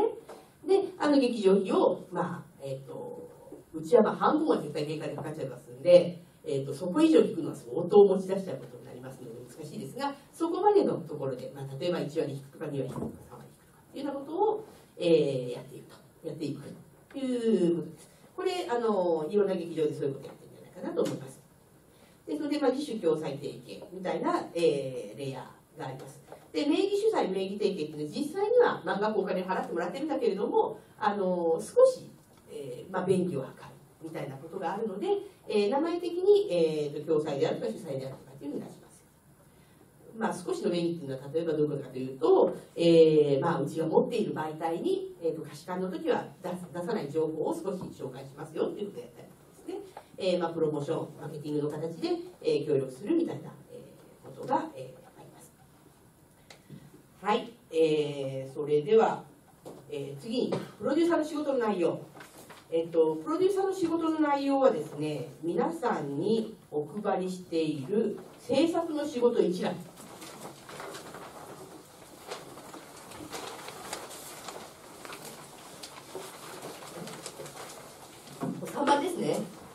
えーと、これですね。あのー、これに書いてあります。今日これをいちいちあの言っていくことはしないので、えー、また後で見返してみてください、えー、という感じです。それでまあ仕事内容としてプロデューサーの仕事どういう仕事か。これあの私は34、5年やってますけれどもいまだにうちの両親私の仕事のことを理解してないとか一体お前は劇場にいるけど何やってるのって分かってないです。はい、なのでとても説明するのは難しいです。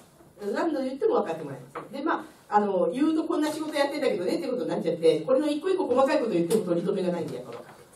ます。あのちょっと全く業界関係ない人に説明するときに使うこれ他の人が使ってた例えでうまいなと思ったんで私も流用させてもらうんですが、まあ、レストランに例えてみると、まあ、演劇というのはあの俳優さんはちょっと俳優さんの方いらっしゃるんですちょっと怒られることがあるんですよ俳優は食材。ね。だからあの、まあ、お肉の人もいればでお肉でも脂身が多い肉もいればささみ系の人もいる。で、えーまあ、スパイスみたいな薬味みたいな人もいる。ね。えー、あれクリームみたいな人がいるとか、まあ、食材である。でそれはそれぞれに、まあ、持ち味があり、えー、いいところもあるけれども全くできないこともあったりする、えー、まあオールマイティなものが、まあ、例えばお米みたいな人がいる。みたいなね場合もありますよね。で、えー、っと演出家かシェフ。この演出家が味を決めるんだと。同じ食材でも演出家が違うと全然料理の仕方が違う。であと掛け合わせ食材の掛け合わせ方も違う。でもこの演出家というかシェフも、まあ、得て増えてがありますんでパティシエみたいな人にちょっと脂身の多い肉持ってってもどうよっていうことがあるということですね。じゃあプロデューサーはこの里絵の中でいくと何なのかどうでしょうね皆さん、まあ、プロデューサーはレストランのまあオーナーないし店長さんみたいなことと思えば良いかなと。あのこの食材を仕入れてくるのもこのシェフにオーダーするのもまあ店長さんとかオーナーですよね。あのこのレストランの持ち主が一体このレストランを何席ぐらいので大体客単価何人ぐらいのでどういうお料理を出すようなレストランにしたいかということでえどういう食材とかどういうエスカを持ってく決まってくるということなんですよね。てかそういう仕事をまあプロデューサーとしてはやってるわけなんだけどねって言ってまあ分かってくれる人もいますがよく分からない人もいます。まあこんなような、えー、感じです。もう少し具体的にしますと、えー、まずプロデューサーっていうのは、えーと、一つの作品を、えーと、頭から最後まで、えー、関わる人です、えー、始めるのもまずプロデューサーいないと始まらない、まあ、始めるっていうのは要するにやりたいやりたいって自分たちで盛り上がっていることはできますよ。だけどじゃあやろうか。っていうのは必ずそこにお金がまあ発生してくるわけですやろうって言った瞬間に、えー、例えばじゃあこの本、えー、上演しますって言ったらもう上演権取りに行かなきゃそこでお金が発生します。あるいはこれ調べる、えー、あるいは誰か訳してもらう。もうそこの時点でお金が発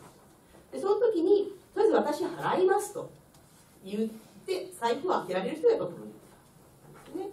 まあ俳優本人の時もあります。だけどまあそれがプロデューサーだから、えー、始める。この人がいないと始まらない。そして、えっとまあ、終わりの時までずっと付き合って伴走して全ての終わりを、まあ、お尻を吹くというか見届ける人でもあります。そして途中でやめることができる、えー、唯一の人ですね。つまり関わった人っていうのはちょっとなんか納得いかないなと思って自分が抜けることはできるんですけれどもこのプロジェクト全体っていうのを止めることができる。これやめときましょう。おしまいですっていうふうに言うことができるのは、えー、お金の責任を持っているプロデューサーだけと。いうふうに言っていると思います。ですので、えーと、始める人を締める人そして中止を決められる人というのはこれプロデューサーの、役割。そして、えっとまあ、一つこの関わった作品を一つの興行として見るとこの作品の全責任っていうのを、まあ、とりあえず背負わなきゃいけないこれがまあプロデューサーということになりますので、えー、お金をお金の面で責任を持つための、えー、プロデューサーにとっての地図これが予算書いうことになります。まあ、予算書っていうのはあの苦手な人が多いですが、まあ、家計簿と一緒でして、えー、まあ足し算引き算割り算掛け算以外にはないですルートとかないんであのそんな難しくないです。はい、そして、えー、っと次、えー、仕事内容3、えー、その作品の中で、まあ、関わる人々の中で一番な観客側にいるのがこのプロデューサーの立ち位置というふうに言っていいと思います。あのまあ観客いないとねこうあの公演成立しませんので、えー、大なり小な皆さんお客さんのこと考えてますがやはり表現者はその客がどう思ってくれるかっていうより先に自分が表現したいものっていうのがやっぱり負ってる役割としては大きいですね。で一方、まあ、プロデューサーっていうのはやっぱりその見る側の人のお金預かってますからこの人にお金、えー、いただいただけのちゃんと満足っていうのをどう提供するかっていうところにはすごく責任を持たなきゃいけない、え、いうことになります。えー、それはもう本当にあの環境づくりからそのロビーだとかねトイレとか行ったところまで含めての環境づくりからあとまあ見てる時の例えば見切れ問題ですね。お客さんにここまでしか見えないみたいなことっていうのをあの演出によってはこれ見えなくていいんだよって言っちゃう場合はあるんですがプロデューサーはちょっとこの程度までは見えてほしいみたいなことっていうのを頑張らないといけない。あの非常に大事なシーンがこれ見えない人っていうのにはその分席が安いとかあるいはもう見切れますって言って売ってるとか何かやっぱないといけないんですよね。そこの責任をちゃんと感じて、えー、お尻をっていうのをやらなきゃいけないということになります。つまり、まあ、観客側にいるっていうことですのでマーケティングプロモーションっていうのをあの、まあ、責任を持ってやっていくっていうのが仕事そして4番目、えー、プロデューサーは作品に関わる全ての人と、まあ、コミットする。これ、あのー、例えばですね一つ作品に関わるときに例えば大道具さんと、えー、宣伝会社の人っていうのはずっと一回も顔合わせないし一回も会話をしたことがないまま行くかもしれない。まあ、顔合わせとかね初日乾杯とかっていう時にたまさか同じ空間にいることはあるかもしれないけれど仕事の打ち合わせを大道具さんと、えー、宣伝会社の人がやるってことはあんまり多分ないです。よっぽど大道具が売りになってるねあの作品とかだとまああるんですけども。が、えー、プロデューサーっていうのはそれぞれの人をあの作品に引き入れてくに必ずその人たちっていうのとまずは、まあ、話すのがあのプロデューサーのポジションですよねでこの全く関係がなかったそれぞれの人っていうのを例えば、えっと、合同会社と証明会社知り合いじゃない同士だってかもしれないところっていうのをこうつなぐっていうのが、えー、プロデューサーの仕事で一旦つないでここに回路がシナプスが生まれればもうプロデューサー引いていけばいいんですけれどもここに回路を作るっていうのはこれ仕事なんですね。であの人々必要な人々がつながっている橋を架けていくシナプスを作るっていうのが、えー、こうプロデューサーの仕事。つまりこれはカンパニーマネージメントということに、えーであの、まあ、プロデューサーの仕事ここにまあざーっと書きましたけれども、えっとまあ、一つの企画に関わる人々っていうのがですね、えー、これ皆さんお渡しした資料1一を見てください。これ、えーと、ハムレットっていう公演のパンフレットの、えー、キャストスタッフ連盟表ですこれまあパンフレット買わない場合にはですねキャストスタッフ連盟っていうのでこれだけペラッとこう皆さんのチラシとかの束の中に入ってることがあると思います。あのつまりこれっていうのはやっぱり関わってくれた全ての人をここに記載するっていうことでお金十分払えてる人払えてないって言いますけれども関わってくれた人ありがとうっていうふうにですねここの名前非常に重要でプロデューサーここに間違いがあったり抜かりがある人は絶対やっちゃいけないということになります。でえーとまあ、私たちは人の手話見に行くと大体これを見てああなるほどみたいなね何人ぐらいでやってるんだみたいな。証明異常に多いねとかね、まあ、こそういうことをここでカウントするわけです。で異常に人多いとこれは虎だみたいなね。あの要するに入れ替わってんだねみたいなことをねこうカウントしたりとかするのがまあいわゆる業界内の人々の他の人の作品の見方みたいなことになります。まあ、これ、えっと、てっぺんからいくと、まあ、クリエイターがざーっと並ぶわけあのスタッフの方のページね、えー、まずは作演出っていうところから始まりまして、えー、っとクリエイターたちがバーッと並びます。舞台監督まで並んでます。でその後で、えっと、一緒演出部照明部に始まってこれは本番についている本番ランニングしている人たちっていうのが、えー、並んでいます。でその後に、まあえーと、トレーナーとか警警護教育みたいな、えー、ちょっとクリエーションのおプロセスで絡んでくれた人が並んでいます。で美術助手助手助手という感じで助手が並んでいましてえー、その下にある制作進行というのはこれは、えっと、これまあ、えー、芸劇プロデュースの作品だったんですが芸劇の中の制作だけでは、えー、回らなかったので外部の制作の人を頼んだということでここにえその下の大道具製作からずっと進みまして、えー、運搬毎度っていうところまでがこれあの業者いわゆる業者さんっていう大道具会社ですとか、えー、照明会社ですとかっていうようなことになっています、えー、まあまあこういう方々を、えー、クレジットしましてその後宣伝美術ですね。あのポスターとかチラシとかに関わるデザインの、えー、仕事に関わってくれた方々。で、えーと、右の段に行きまして、えーと、アーティストマネジメント。これは俳優さんたちの所属事務所ということになります。でその後、まあえーと、少しアドバイザーなどがありまして、えー、現役のスタッフが並んでいくと、えー、技術面制作面、えー、そして主催者のところに、えーまあ、この公演の時は芸劇とピアが、えー、と共催という形でした。あのリスクを分け合ったということでしたので、えー、このようにクレジットされていくというふうに並んでいます。えーと、ここで制作に関するところっていうのは、えー、右側の東京劇芸術劇場のスタッフの中のプロデューサーっていうところに始まりまして、えー、広報表現制作制作助手っていうふうに並んでいるあたりがいわゆる、あのー、制作実務の中に含まれる人々という感じになります。でこれ日本の一般的なプレイですね。でこれに対しまして、えーと、とブロードウェイこの英語のキンキブーツ見てください。このキンキーブーツのブーツ型の上にドバーッといっぱい並んでますね。これ全部プロデューサーです。あのダリル・ロスハール・ルトビックっていうのが多分一番お金の大元締めのプロデューサーでその下にもうなんか20個ぐらいカンパニーが並んでますけれどもこれ全部プロデューサーですなんでこれだけの人々がお金集めてきてお金を負担し合っているということになるわけですね。で、えっと、その下はまあクレジット、えー、全部クリエイターたちということになります。で、えっと、このクリエイターたちの中に、えっと、制作としてはですね、えっと、一番下の方の行に、えっと、アソシエイトプロデューサー、アドバタイジング、マーケティング、プレスレプレゼンタティブ、ゼネラルマネジメントみたいなね、えー、ところがありますよね。この辺がいわゆる日本でいうところの制作者が、えー、カバーしていることをやっている人たちということになります。えっと、日本ではそうですね、プロデューサーっていうのはまあ呼び名として定着してますが、プロデューサー制作みたいなバリエーションですかね。ですからプロデューサーがまあお金の責任者で制作がそのまあなんていうかそれを回していく責任者みたいな感じですかね。えっとまあ、海外のおこのおクレジットでいきますと、まあ、プロデューサーは日本のプロデューサーよりむしろもっとお金を集めることに特化しているという感じですね。ですのであの私はプロデューサー立場になりますが私が毎日稽古場に行ってたりとかするとなんで毎日来てるのっていうふうに、まあ、外国の方なんかはおっしゃいます。あのプロデューサーっていうのはやっぱ外で例えば投資家ですとか銀行ですとかと打ち合わせして、えーと、いついつまで何ぼ貸しといてみたいな話ですとかあなたこのこのこの企画に出資してくださいどのこのみたいなお金の話をするので外にいるのがプロデューサーっていうふうに思われてるんで稽古場にいるとなんか仕事をしてない人みたいに逆に思われるみたいなね形です。えー、ましてや稽古場であのコーヒーカップとか洗ってるとものすごいぎょっとされるっていうえーみたいな感じでプロデューサーがみたいに見られるっていうようなことですね。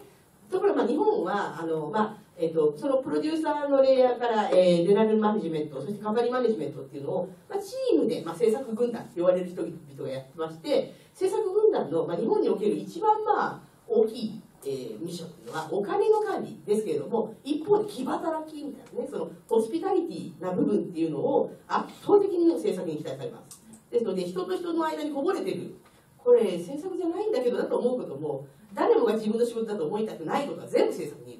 みたいなね。隙間産業全部制作です。であのまあ最初から最後まで関わるっていう言葉の通り稽古場鍵開けて鍵閉めるところ大体制作ね。これ別に制作になってもいいんですけどねこのタイミングっていう時なんとなく制作が行ってコーヒーメーカーをオンしてないとスタッフ機嫌が悪いみたいなねことに、まあ、なりがちです。あの今ちょっと働き方改革ですので、まあ、私たちとしても今日は演出部しかいらないんだから演出部すいません。自分でコーヒー作ってやってくださいみたいなことっていうのをだんだん言うようになってきてますけれども。なんとなくメンタリティ的にやっぱりお茶弁当、えー、なんかその辺のこと制作の仕事なんですから海外のあのあれですよ、えー、人と新作作ってる時なんかは本当に別に弁当が必要になった時に必要な人が買いに行ってくれたりとかね。コーヒー豆とかもそういうふうにしてくれますし逆に言うとそのために高い人件費の人が1人いるっていうのが不合理みたいなね考え方もありなかなかこうね制作の仕事っていうのの意味付けを考えさせられる、えー、部分ではありますが、まあ、いわゆる日本で、えー、制作と言ってるものっていうのはその、まあ、プロデューサーゼネラルマネージャーカンパニーマネージャーっていうのを、まあ、ひとまとめにした感じで、まあ、制作者が面倒を見ているということが、えー、多いのではないかと思います。はい、ちょっと駆け足で、えー、いきましたが、まあ、制作のお仕事こんな感じ。えっと、先ほどのこの、なんだっけ、具体的な業務の表っていうのは、大体2年前から、えー、公演の一番決までっていうのを、大体の業務を、まあ、えー、は網羅してるつもりなんですが、まあ、競技は2年前よりもっと早くね、3年前ぐらいからやっぱり稽古始まってますので、えー、まずそして、まあ、この業務っていうのは、えっと、最初早い時期ほど、まあ、プロデューサー的な業務が多い。で半年ぐらい前から、えー、ゼネラルマネージャー的な、まあ、契約であるとか具体的な、えー、条件の中身の業務が増えてきます。そしてあの稽古版突入っていう、まあ、本番の1か月2か月前ぐらいからカンパニーマネジメントの仕事がす。ごく増えるそれはまああの公演期間中を通してカンパニーマネジメントの仕事はずっと、まあえー、続いていくということになります。でプロデューサー的な仕事っていうのは具体的に走りと減っていくんですがあのしかしながらどうしてもここプロデューサーが介入していかないといけないっていうようなことっていうのはちょいちょいあります、まあ、具体的に言うとやっぱり俳優さんのランク付けっていうとしてですね。番手を決める。つまりどの順番で名前をクレジットされるとかですね。これっていうのがもう後々に至るまで全てに影響してきます。あの例えば政策発表をする時の発言の順番であるとか顔合わせで座る席の順番とかね、えー、カーテンコールで並ぶ位置であるとかこれやっぱり非常に微妙にプロデューサー的用語なので、えー、最後まで、えー、これちょっとあのプロデューサーが言うと目をきちんとあの据えておかないとトラブルに発展するっていうことがあったりします。あのまあ、楽屋割りもそうなんですけど楽屋割りは微妙に人間関係っていうのがちょっと影響するので序列だけじゃないというところもあったりしま。あ、これちょっと格論あのあまりにも格論な、えー、係マネジメントに入るのでちょっと今日はこの辺にして、えー、次企画立案あだんだん時間がなくなってきたのでこれさーっといきます。えっと、企画はですねあの、まあ、どうやって企画ってあの考えつくんですかみたいなことよく聞かれますけど、まあ、そのなんていうんですかねえっと特攻略っていうか、まあ、あのそういうのなくてですね大体私たちはもうず何をしてでもなんとなく考えますあの何かというとこれ舞台になるから何かというと考えますなので、まあ、その、その、なんていうんですかね、まあ、その集中力っていうか、あの、思い込み力をどんだけ、まあ、持続させるかっていうところが、えー、具体的な企画につながるのかもしれないなと思うんですけど、まあ、常時プロデューサーって言われる人なんか頭の中に 10, 10個とか20個とか、なんとなくこう、ずっと考えてます。ずっとなんかモヤモヤしたものがあったりとかします。で、すぐに形にならないことも多いです。やっぱり20年越しみたいな、えー、こととかもあって、まあ、ホリプロで言うと、あの、武蔵っていう企画とかはね、あのまあ、蜷川さんが亡くなるちょっと前。で、まあえー、井上久志さん最後の最後から2番目作品になりましたけれどもこれもですこれ30年越しぐらいの企画だったんですよね。だからあの堀井さんが、えーとまあ、ピーターパンを見つけにブロードウェイに行った頃にすごい作品ばっかりですごいけどいつかここで黒毛物がやりたい。要するに日本人で作ったものっていうのをブロードウェイに持っていきたいっていうふうにそこで、まあ、志に燃えまして。で、まあ、その頃あの、まあ、ね、名優だったね。テレビの創創期を一緒に支えてた井上久先生にあの宮本武蔵をミュージカルにしてブロードウェイでやりたいんだよっていうふうにおっしゃってで井上先生も「いいねいいねやろうね」って言ったんだけどその人脈もない。まだピーターパンの上限連携を買っただけの会社ですから何も具体的な手はずがないところで、えー、まあ頓挫しちゃってそのままになってた。井上先生も忙しいんで、えー、まあ上演になってもないものをちょっと書く時間はなかったんで約束はしたけどごめんねっていうことになってた。であの、まあ、30周年経って、えー、ホリプロも舞台の実績を積み上げてそれに稲川さんと一緒に仕事をするというようになって、えー、っと井上さんのあの古い作品ですね。あの何年昭和元年現文英元年だっけなんとか元年のシェイクスピアっていうあの井上久さんの作品がありましてこれシェイクスピアの全作品を、えーと、突っ込んでるという、まあ、触れ込みなんですが中にはタイトルしか出てきてない作品もありますけれども、えー、シェイクスピア作品の主要な人物がいっぱい出てくる。でちょっとお祭りにぎやかし的な、えー、作品です。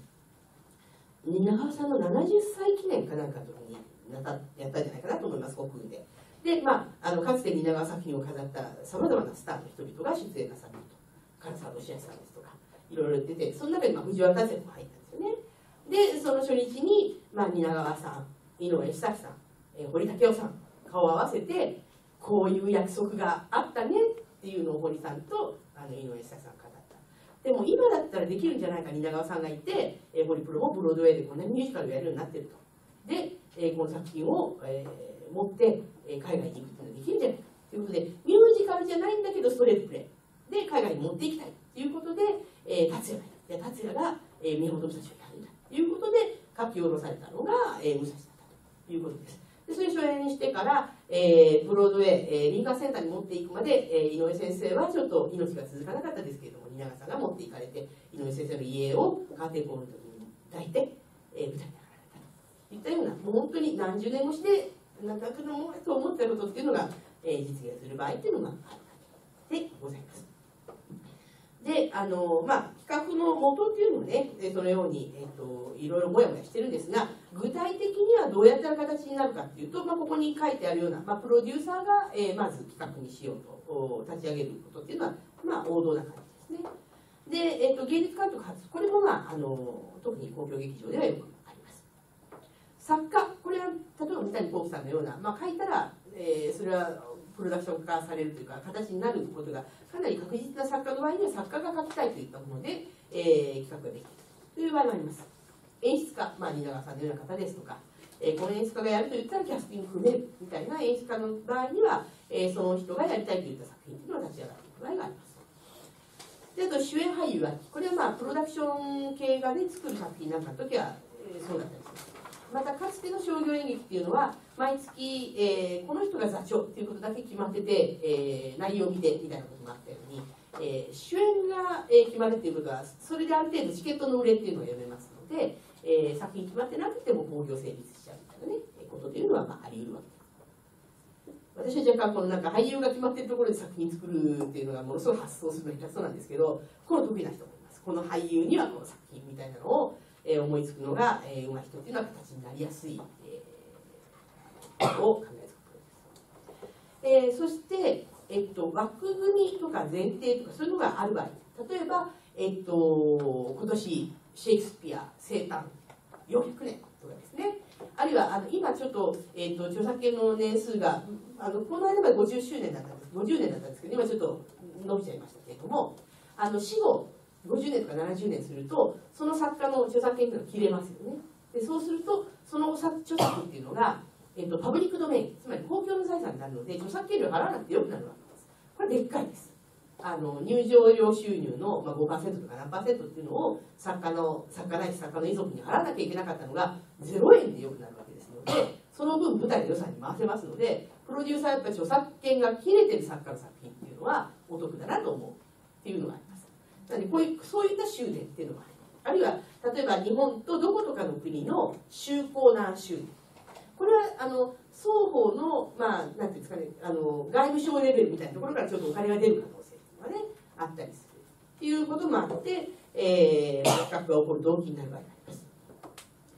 あるいはまあ祭り、えーまあ、去年ちょっと盛り上がったのはえパリでジャポニスム2018年18点っていうのがありましてあの日本の舞台芸術それから、えー、ファインアートですとか、えー、食ですとかいろんな文化っていうのがパリに行って、えー、向こうで紹介された。でこういう機会の時には、えー、助成金も出たりしますので、えー、そういうなんかモチベーションに乗っかってじゃあ自分たち作品作ろうみたいな、えー、ことになったりすることもあります。えこういうまあいろんなまあ前提がある場合に、えー、それに応じた企画を立案あの来年のまあオリンピックもそうですよね。あのオリンピックに向けて東京東京フェスティバルとかいっぱいこう募集がかかっていましたそういうのに向けて企画を立ててみたいなことの動機づけになります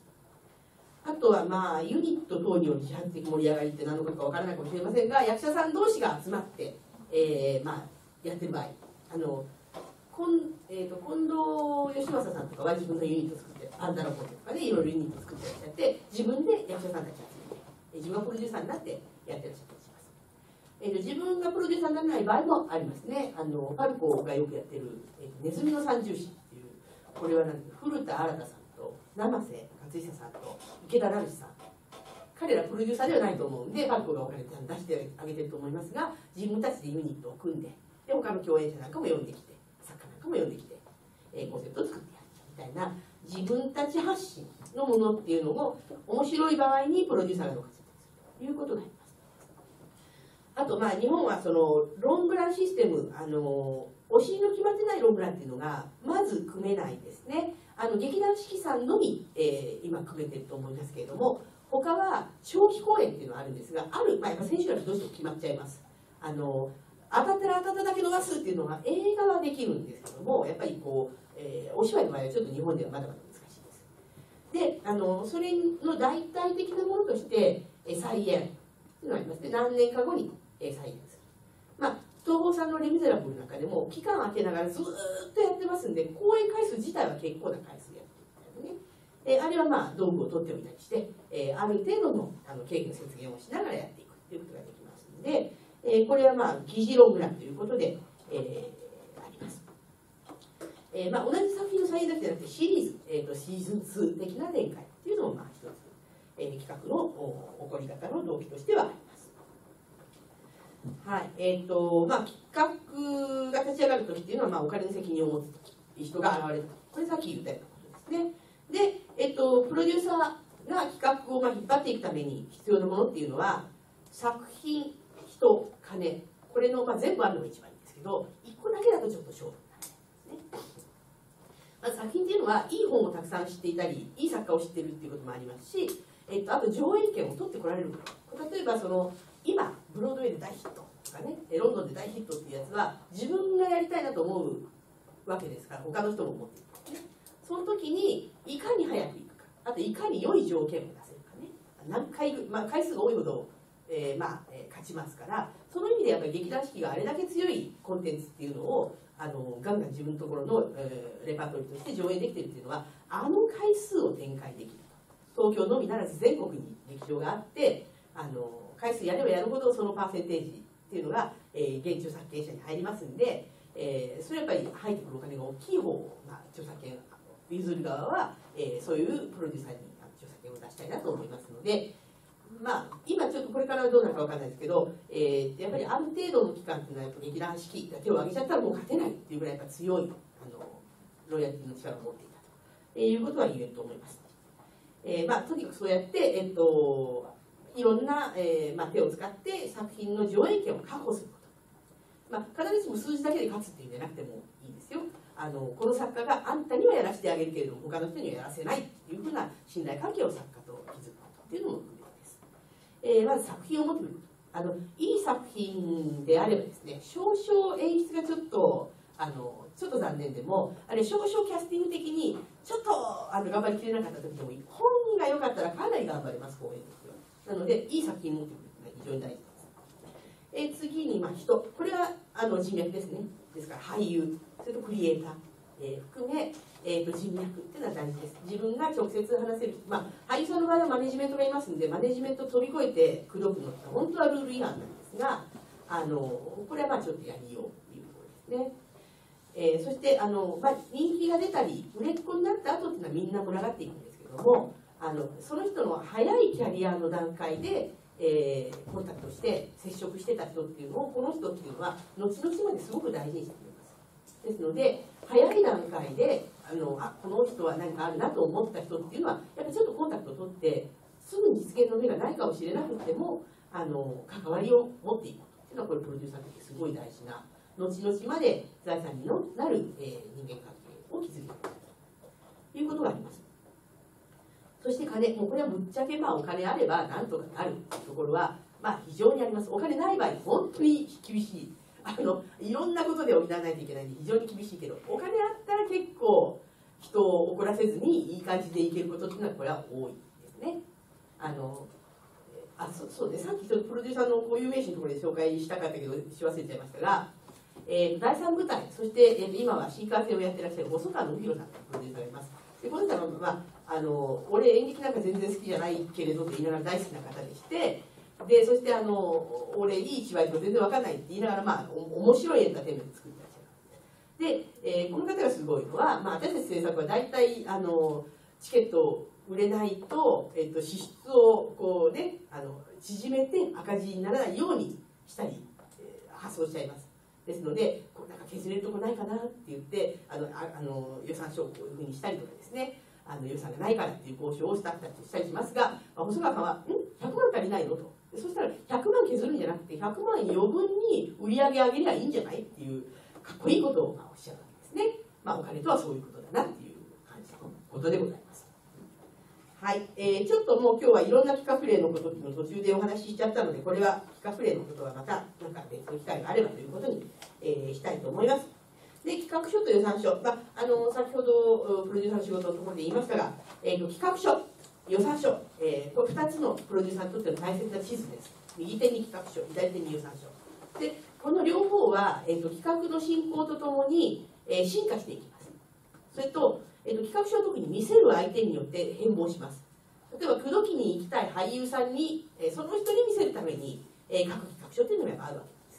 その人の役のことをそしてなんでこの人に今この作品とその役をやってほしいかっていうことを文章にした企画書っていうのがありますでこれは例えば助成金をアプライするときに書くものとは全然違ったりします。あるいはあのスポンサーになってほしい企業に書くときにはそれぞれの企業によって、えーと、お宅の欲しいこういうお客さんっていうのをこの演劇作品を持っていくということを書かなきゃいけないんでそれについて書き換えていくということになったりします。えっとと、今皆さんにお渡ししている4と5。これですね、今年あの7月に上演します「お気に召すまま」っていう企画をやるんですけれどもこの、えっと、4の方が一番最初の段階の企画書で5の方が、えっと、今もう全部内容が決まってプレスリリースになっちゃった状態で、えっとまあ、4っていうののの方を見てもらうと、まあ、かなりこんなシンプルな感じで、えー、最初当たり出すんだねっていう内容でございます。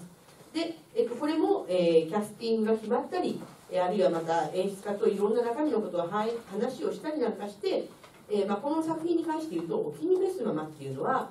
あのジェンダーのブレっていうのがすごくテーマになってる作品なんだみたいなことっていうのがコンセプトになってえそれを踏まえた、えー、企画書っていうかプレスリリースというふうになってますのであこういうふうに変わるんだなっていうのをちょっと、えー、見てもらいたいと思います。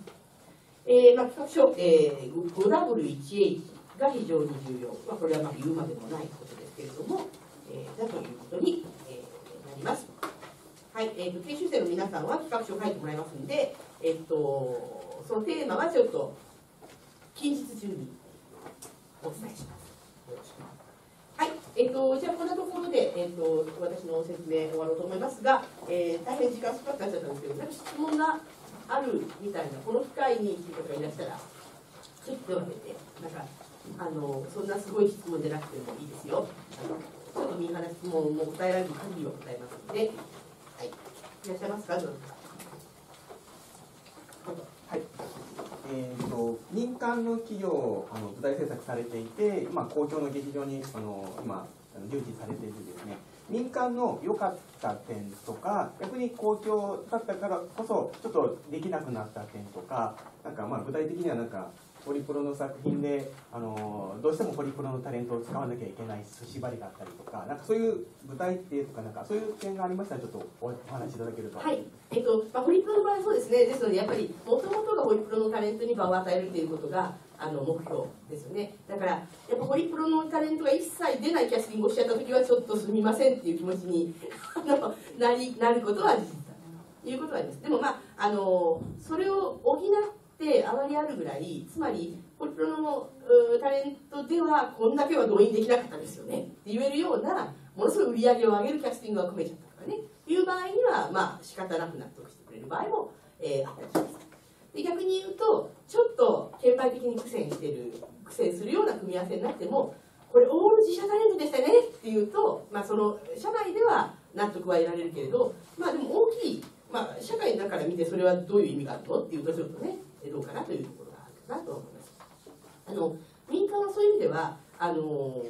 とにかく動員あと売上そこさえクリアしたらあの中身のことは比較的自由にできるっていうのはこれまああの民間のねいいところではありましたが逆に言うとその代わり絶対売れるあるいは絶対赤を出さないっていうことはもうあのそれをやってないと次をさせてもらえなくなるので私はあのかなり大きい赤字を作ったものの後はしばらくやっぱおとなしく言われたことは何でもやるみたいな感じのあの立ち上げ生活を送らざるを得ないみたいなことが、あったんですね。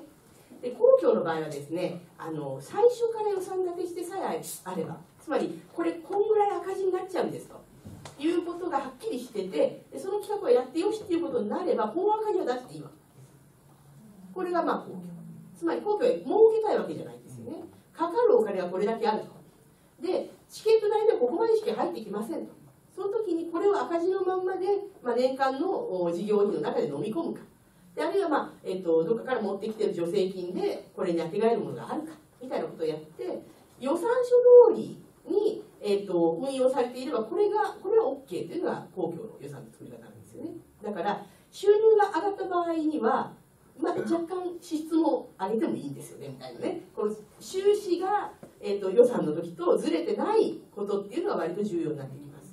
だから変に儲けすぎるっていうのもこれそんな儲かるんなら入場料下げといた方が良かったんじゃないのみたいな議論になったりするわけですですので民間の場合は売れれば売れるところ要するに枚数かける入場料設定ですね。これが売り上げになりますんで売り上げマックスになるのが民間の目標。だからチケット上げすぎるとちょっと売れなくなるわけですからこのマックスの、ね、数字が狂ってくるからこの掛け算最大になる枚数最大になる、えーと、入場料設定っていうのはこれ大切になってくると思います。一方で、まあ、公共の方はチャラパーになればいいわけですからえーと、支出が少ないんなら本当に下げればいいわけですよね。入場料をね。ということになります。ところがまあこれ、えーと、公共と民間で例えばキャスティング的にあんまり区別がないとか差がないような時っていうのがあるんですよね。あの例えば三谷幸喜さんうちにも書いてくれたけれどもホリプロにも書いているパルコにも書いて。るでホリプロやパルコが1万円で売ってるチケットがあったりしますよね。で同じような感じのキャストであるにもかかわらずうちが儲け出さなくていいんで6000円で売っちゃったとするとこれすごい価格破壊になるわけですね。民間にとってみるとじゃあ迎撃でやってる時に見に行くからいいやみたいになっちゃうとやめてくれよとかいうふうに言われるわけですね。ですのでうちはそれは民間設定しているところの一番最低のラインよりさらに最低にはならないように設定する。ていうふうに、まあ、ちょっとそれは配慮したりもしています。みたいな。結構ねあのちょっとアンビバレンス難しい問題だったりしますよね、うん、でもあの迎撃例えばですねえっと海外から呼んでくる公演って今どんどんお客さんチケット売れなくなってて、えー、なかなか厳しくなってるんですけれどもこれやっぱ民間ではなかなかできないんですよね。あの80年代90年代っていうのはちょっとアートっぽい公演っていうのはすごく海外から来て珍しくてみんな見に行く、まあ、見に行くお金もあったし見に行く気力があったんですけども今海外から来てるものって本当に例えばシアターオーブでやってるもう絶対鉄板なミュージカル渡辺謙の出る「王様と私」なら売れるんだけどみたいなね他のものっていうのは結構苦戦したりとかっていうことがあったりもすると思います。であのそんな中で、まあ、入場料をなるべく安く抑えてえー、海外からの作品っていうのを読んできて見せるっていうのはこれやっぱ公共劇場がやらないとなかなかできない。でそのためにそこに助成金を突っ込むし、まあ、吉ンバよく売れる作品があったとして利益が出ればそれをそこに突っ込むという形で、まあ、公共劇場はあの利益が出なくてもあのマーケットの皆さんに見てほしいものっていうのを持っていくという形はやれるんですよね。それはすごくいいところですね。はい。ありがとうございます。他にありますか？大丈夫ですか？ね。まあ、お時間もお時間になってきたんで。えっと、さっきちょっと一つ言い落としちゃったのはですね、プロデューサー、日本にもね、あの、面白いプロデューサーの人たち、たくさんいます。それで、そういう人たちが本を出してます。なので、ご興味がある人は読んでねということで、本を出している人たちの名前っていうのは2ページ目に載ってますので、まあ、あの私上司であるところの高井宏さんですね、うちの館の副館長。この方は、え郵便社、それからグローブ座、えー、世田谷パブリックを得てここに来てます。で同じ時期、まあ、彼からバトンタッチする形で郵便車をやるようになった北村明子さんっていうまたこれがまたすごいプロデューサーにいますがこの方も本を出していらっしゃいます。でこの2人は本当に同じ劇団のことを書いてるのかなって思うぐらい割合と違うことを書いてらっしゃったりしますのでぜひ2冊とも読まれることをお勧めします。えあとさっきちょっとお引き合い出しました、えー、第3部隊から新幹線なさった細川信弘さん。この人は本当に演劇をビジネスにえー、ちゃんとなさっている方で、えー、これもあの面白いですので、えー、読んでください。あと、大人計画の女社長、長坂真紀子さん。この方もよくあんなあの変わった才能たちをこんな風に花開き聞かせてるなっていう意味で、あのこれ本当に愛情深い、愛情深さと、あの面積さっていうのはあの両方、えー、ありまして、えー、それが大人計画社長日記っていう本にあの詰まってますので、それも読んでみてください。あと、キャラメルボックスの、あの、とネビラプロジェクトをやってらっしゃいます加藤さんでこの方もあの独自の考え方で、えー、制作業を貫いてられます、えー、それと本にはなってないですがえっと、ネルケプランニングのあの松田社長ですね、この方が出られた時の情熱大陸 DVD で見られるみたいですので、あのまあ、2.5次元はですね、本当もう1個産業になってますね、あのお客さんしっかりいるし、ものすごいお金ちゃんと払うお客さんもしっかり捕まえてますんで、これはもうねあのちょっとなんていうんですかねかぶじられないもう本当一個分野として産業として成立してるんで、えー、これちょっと研究対象としても注目に値すべきだと思います。あの私は結構2.5を見に行くたびにこれはもし例えば移動とかで2.5のみをやるセクションとか会社とかに移動させられる時に私はできるかなと思いながらずっと見ていますがあのまあお客さんすごいです、昨日も行ってきました、キャスティングのためまあ、そんなこともあります。はい、じゃあ今日はこの辺にさせていただきます。どうもありがとうございました。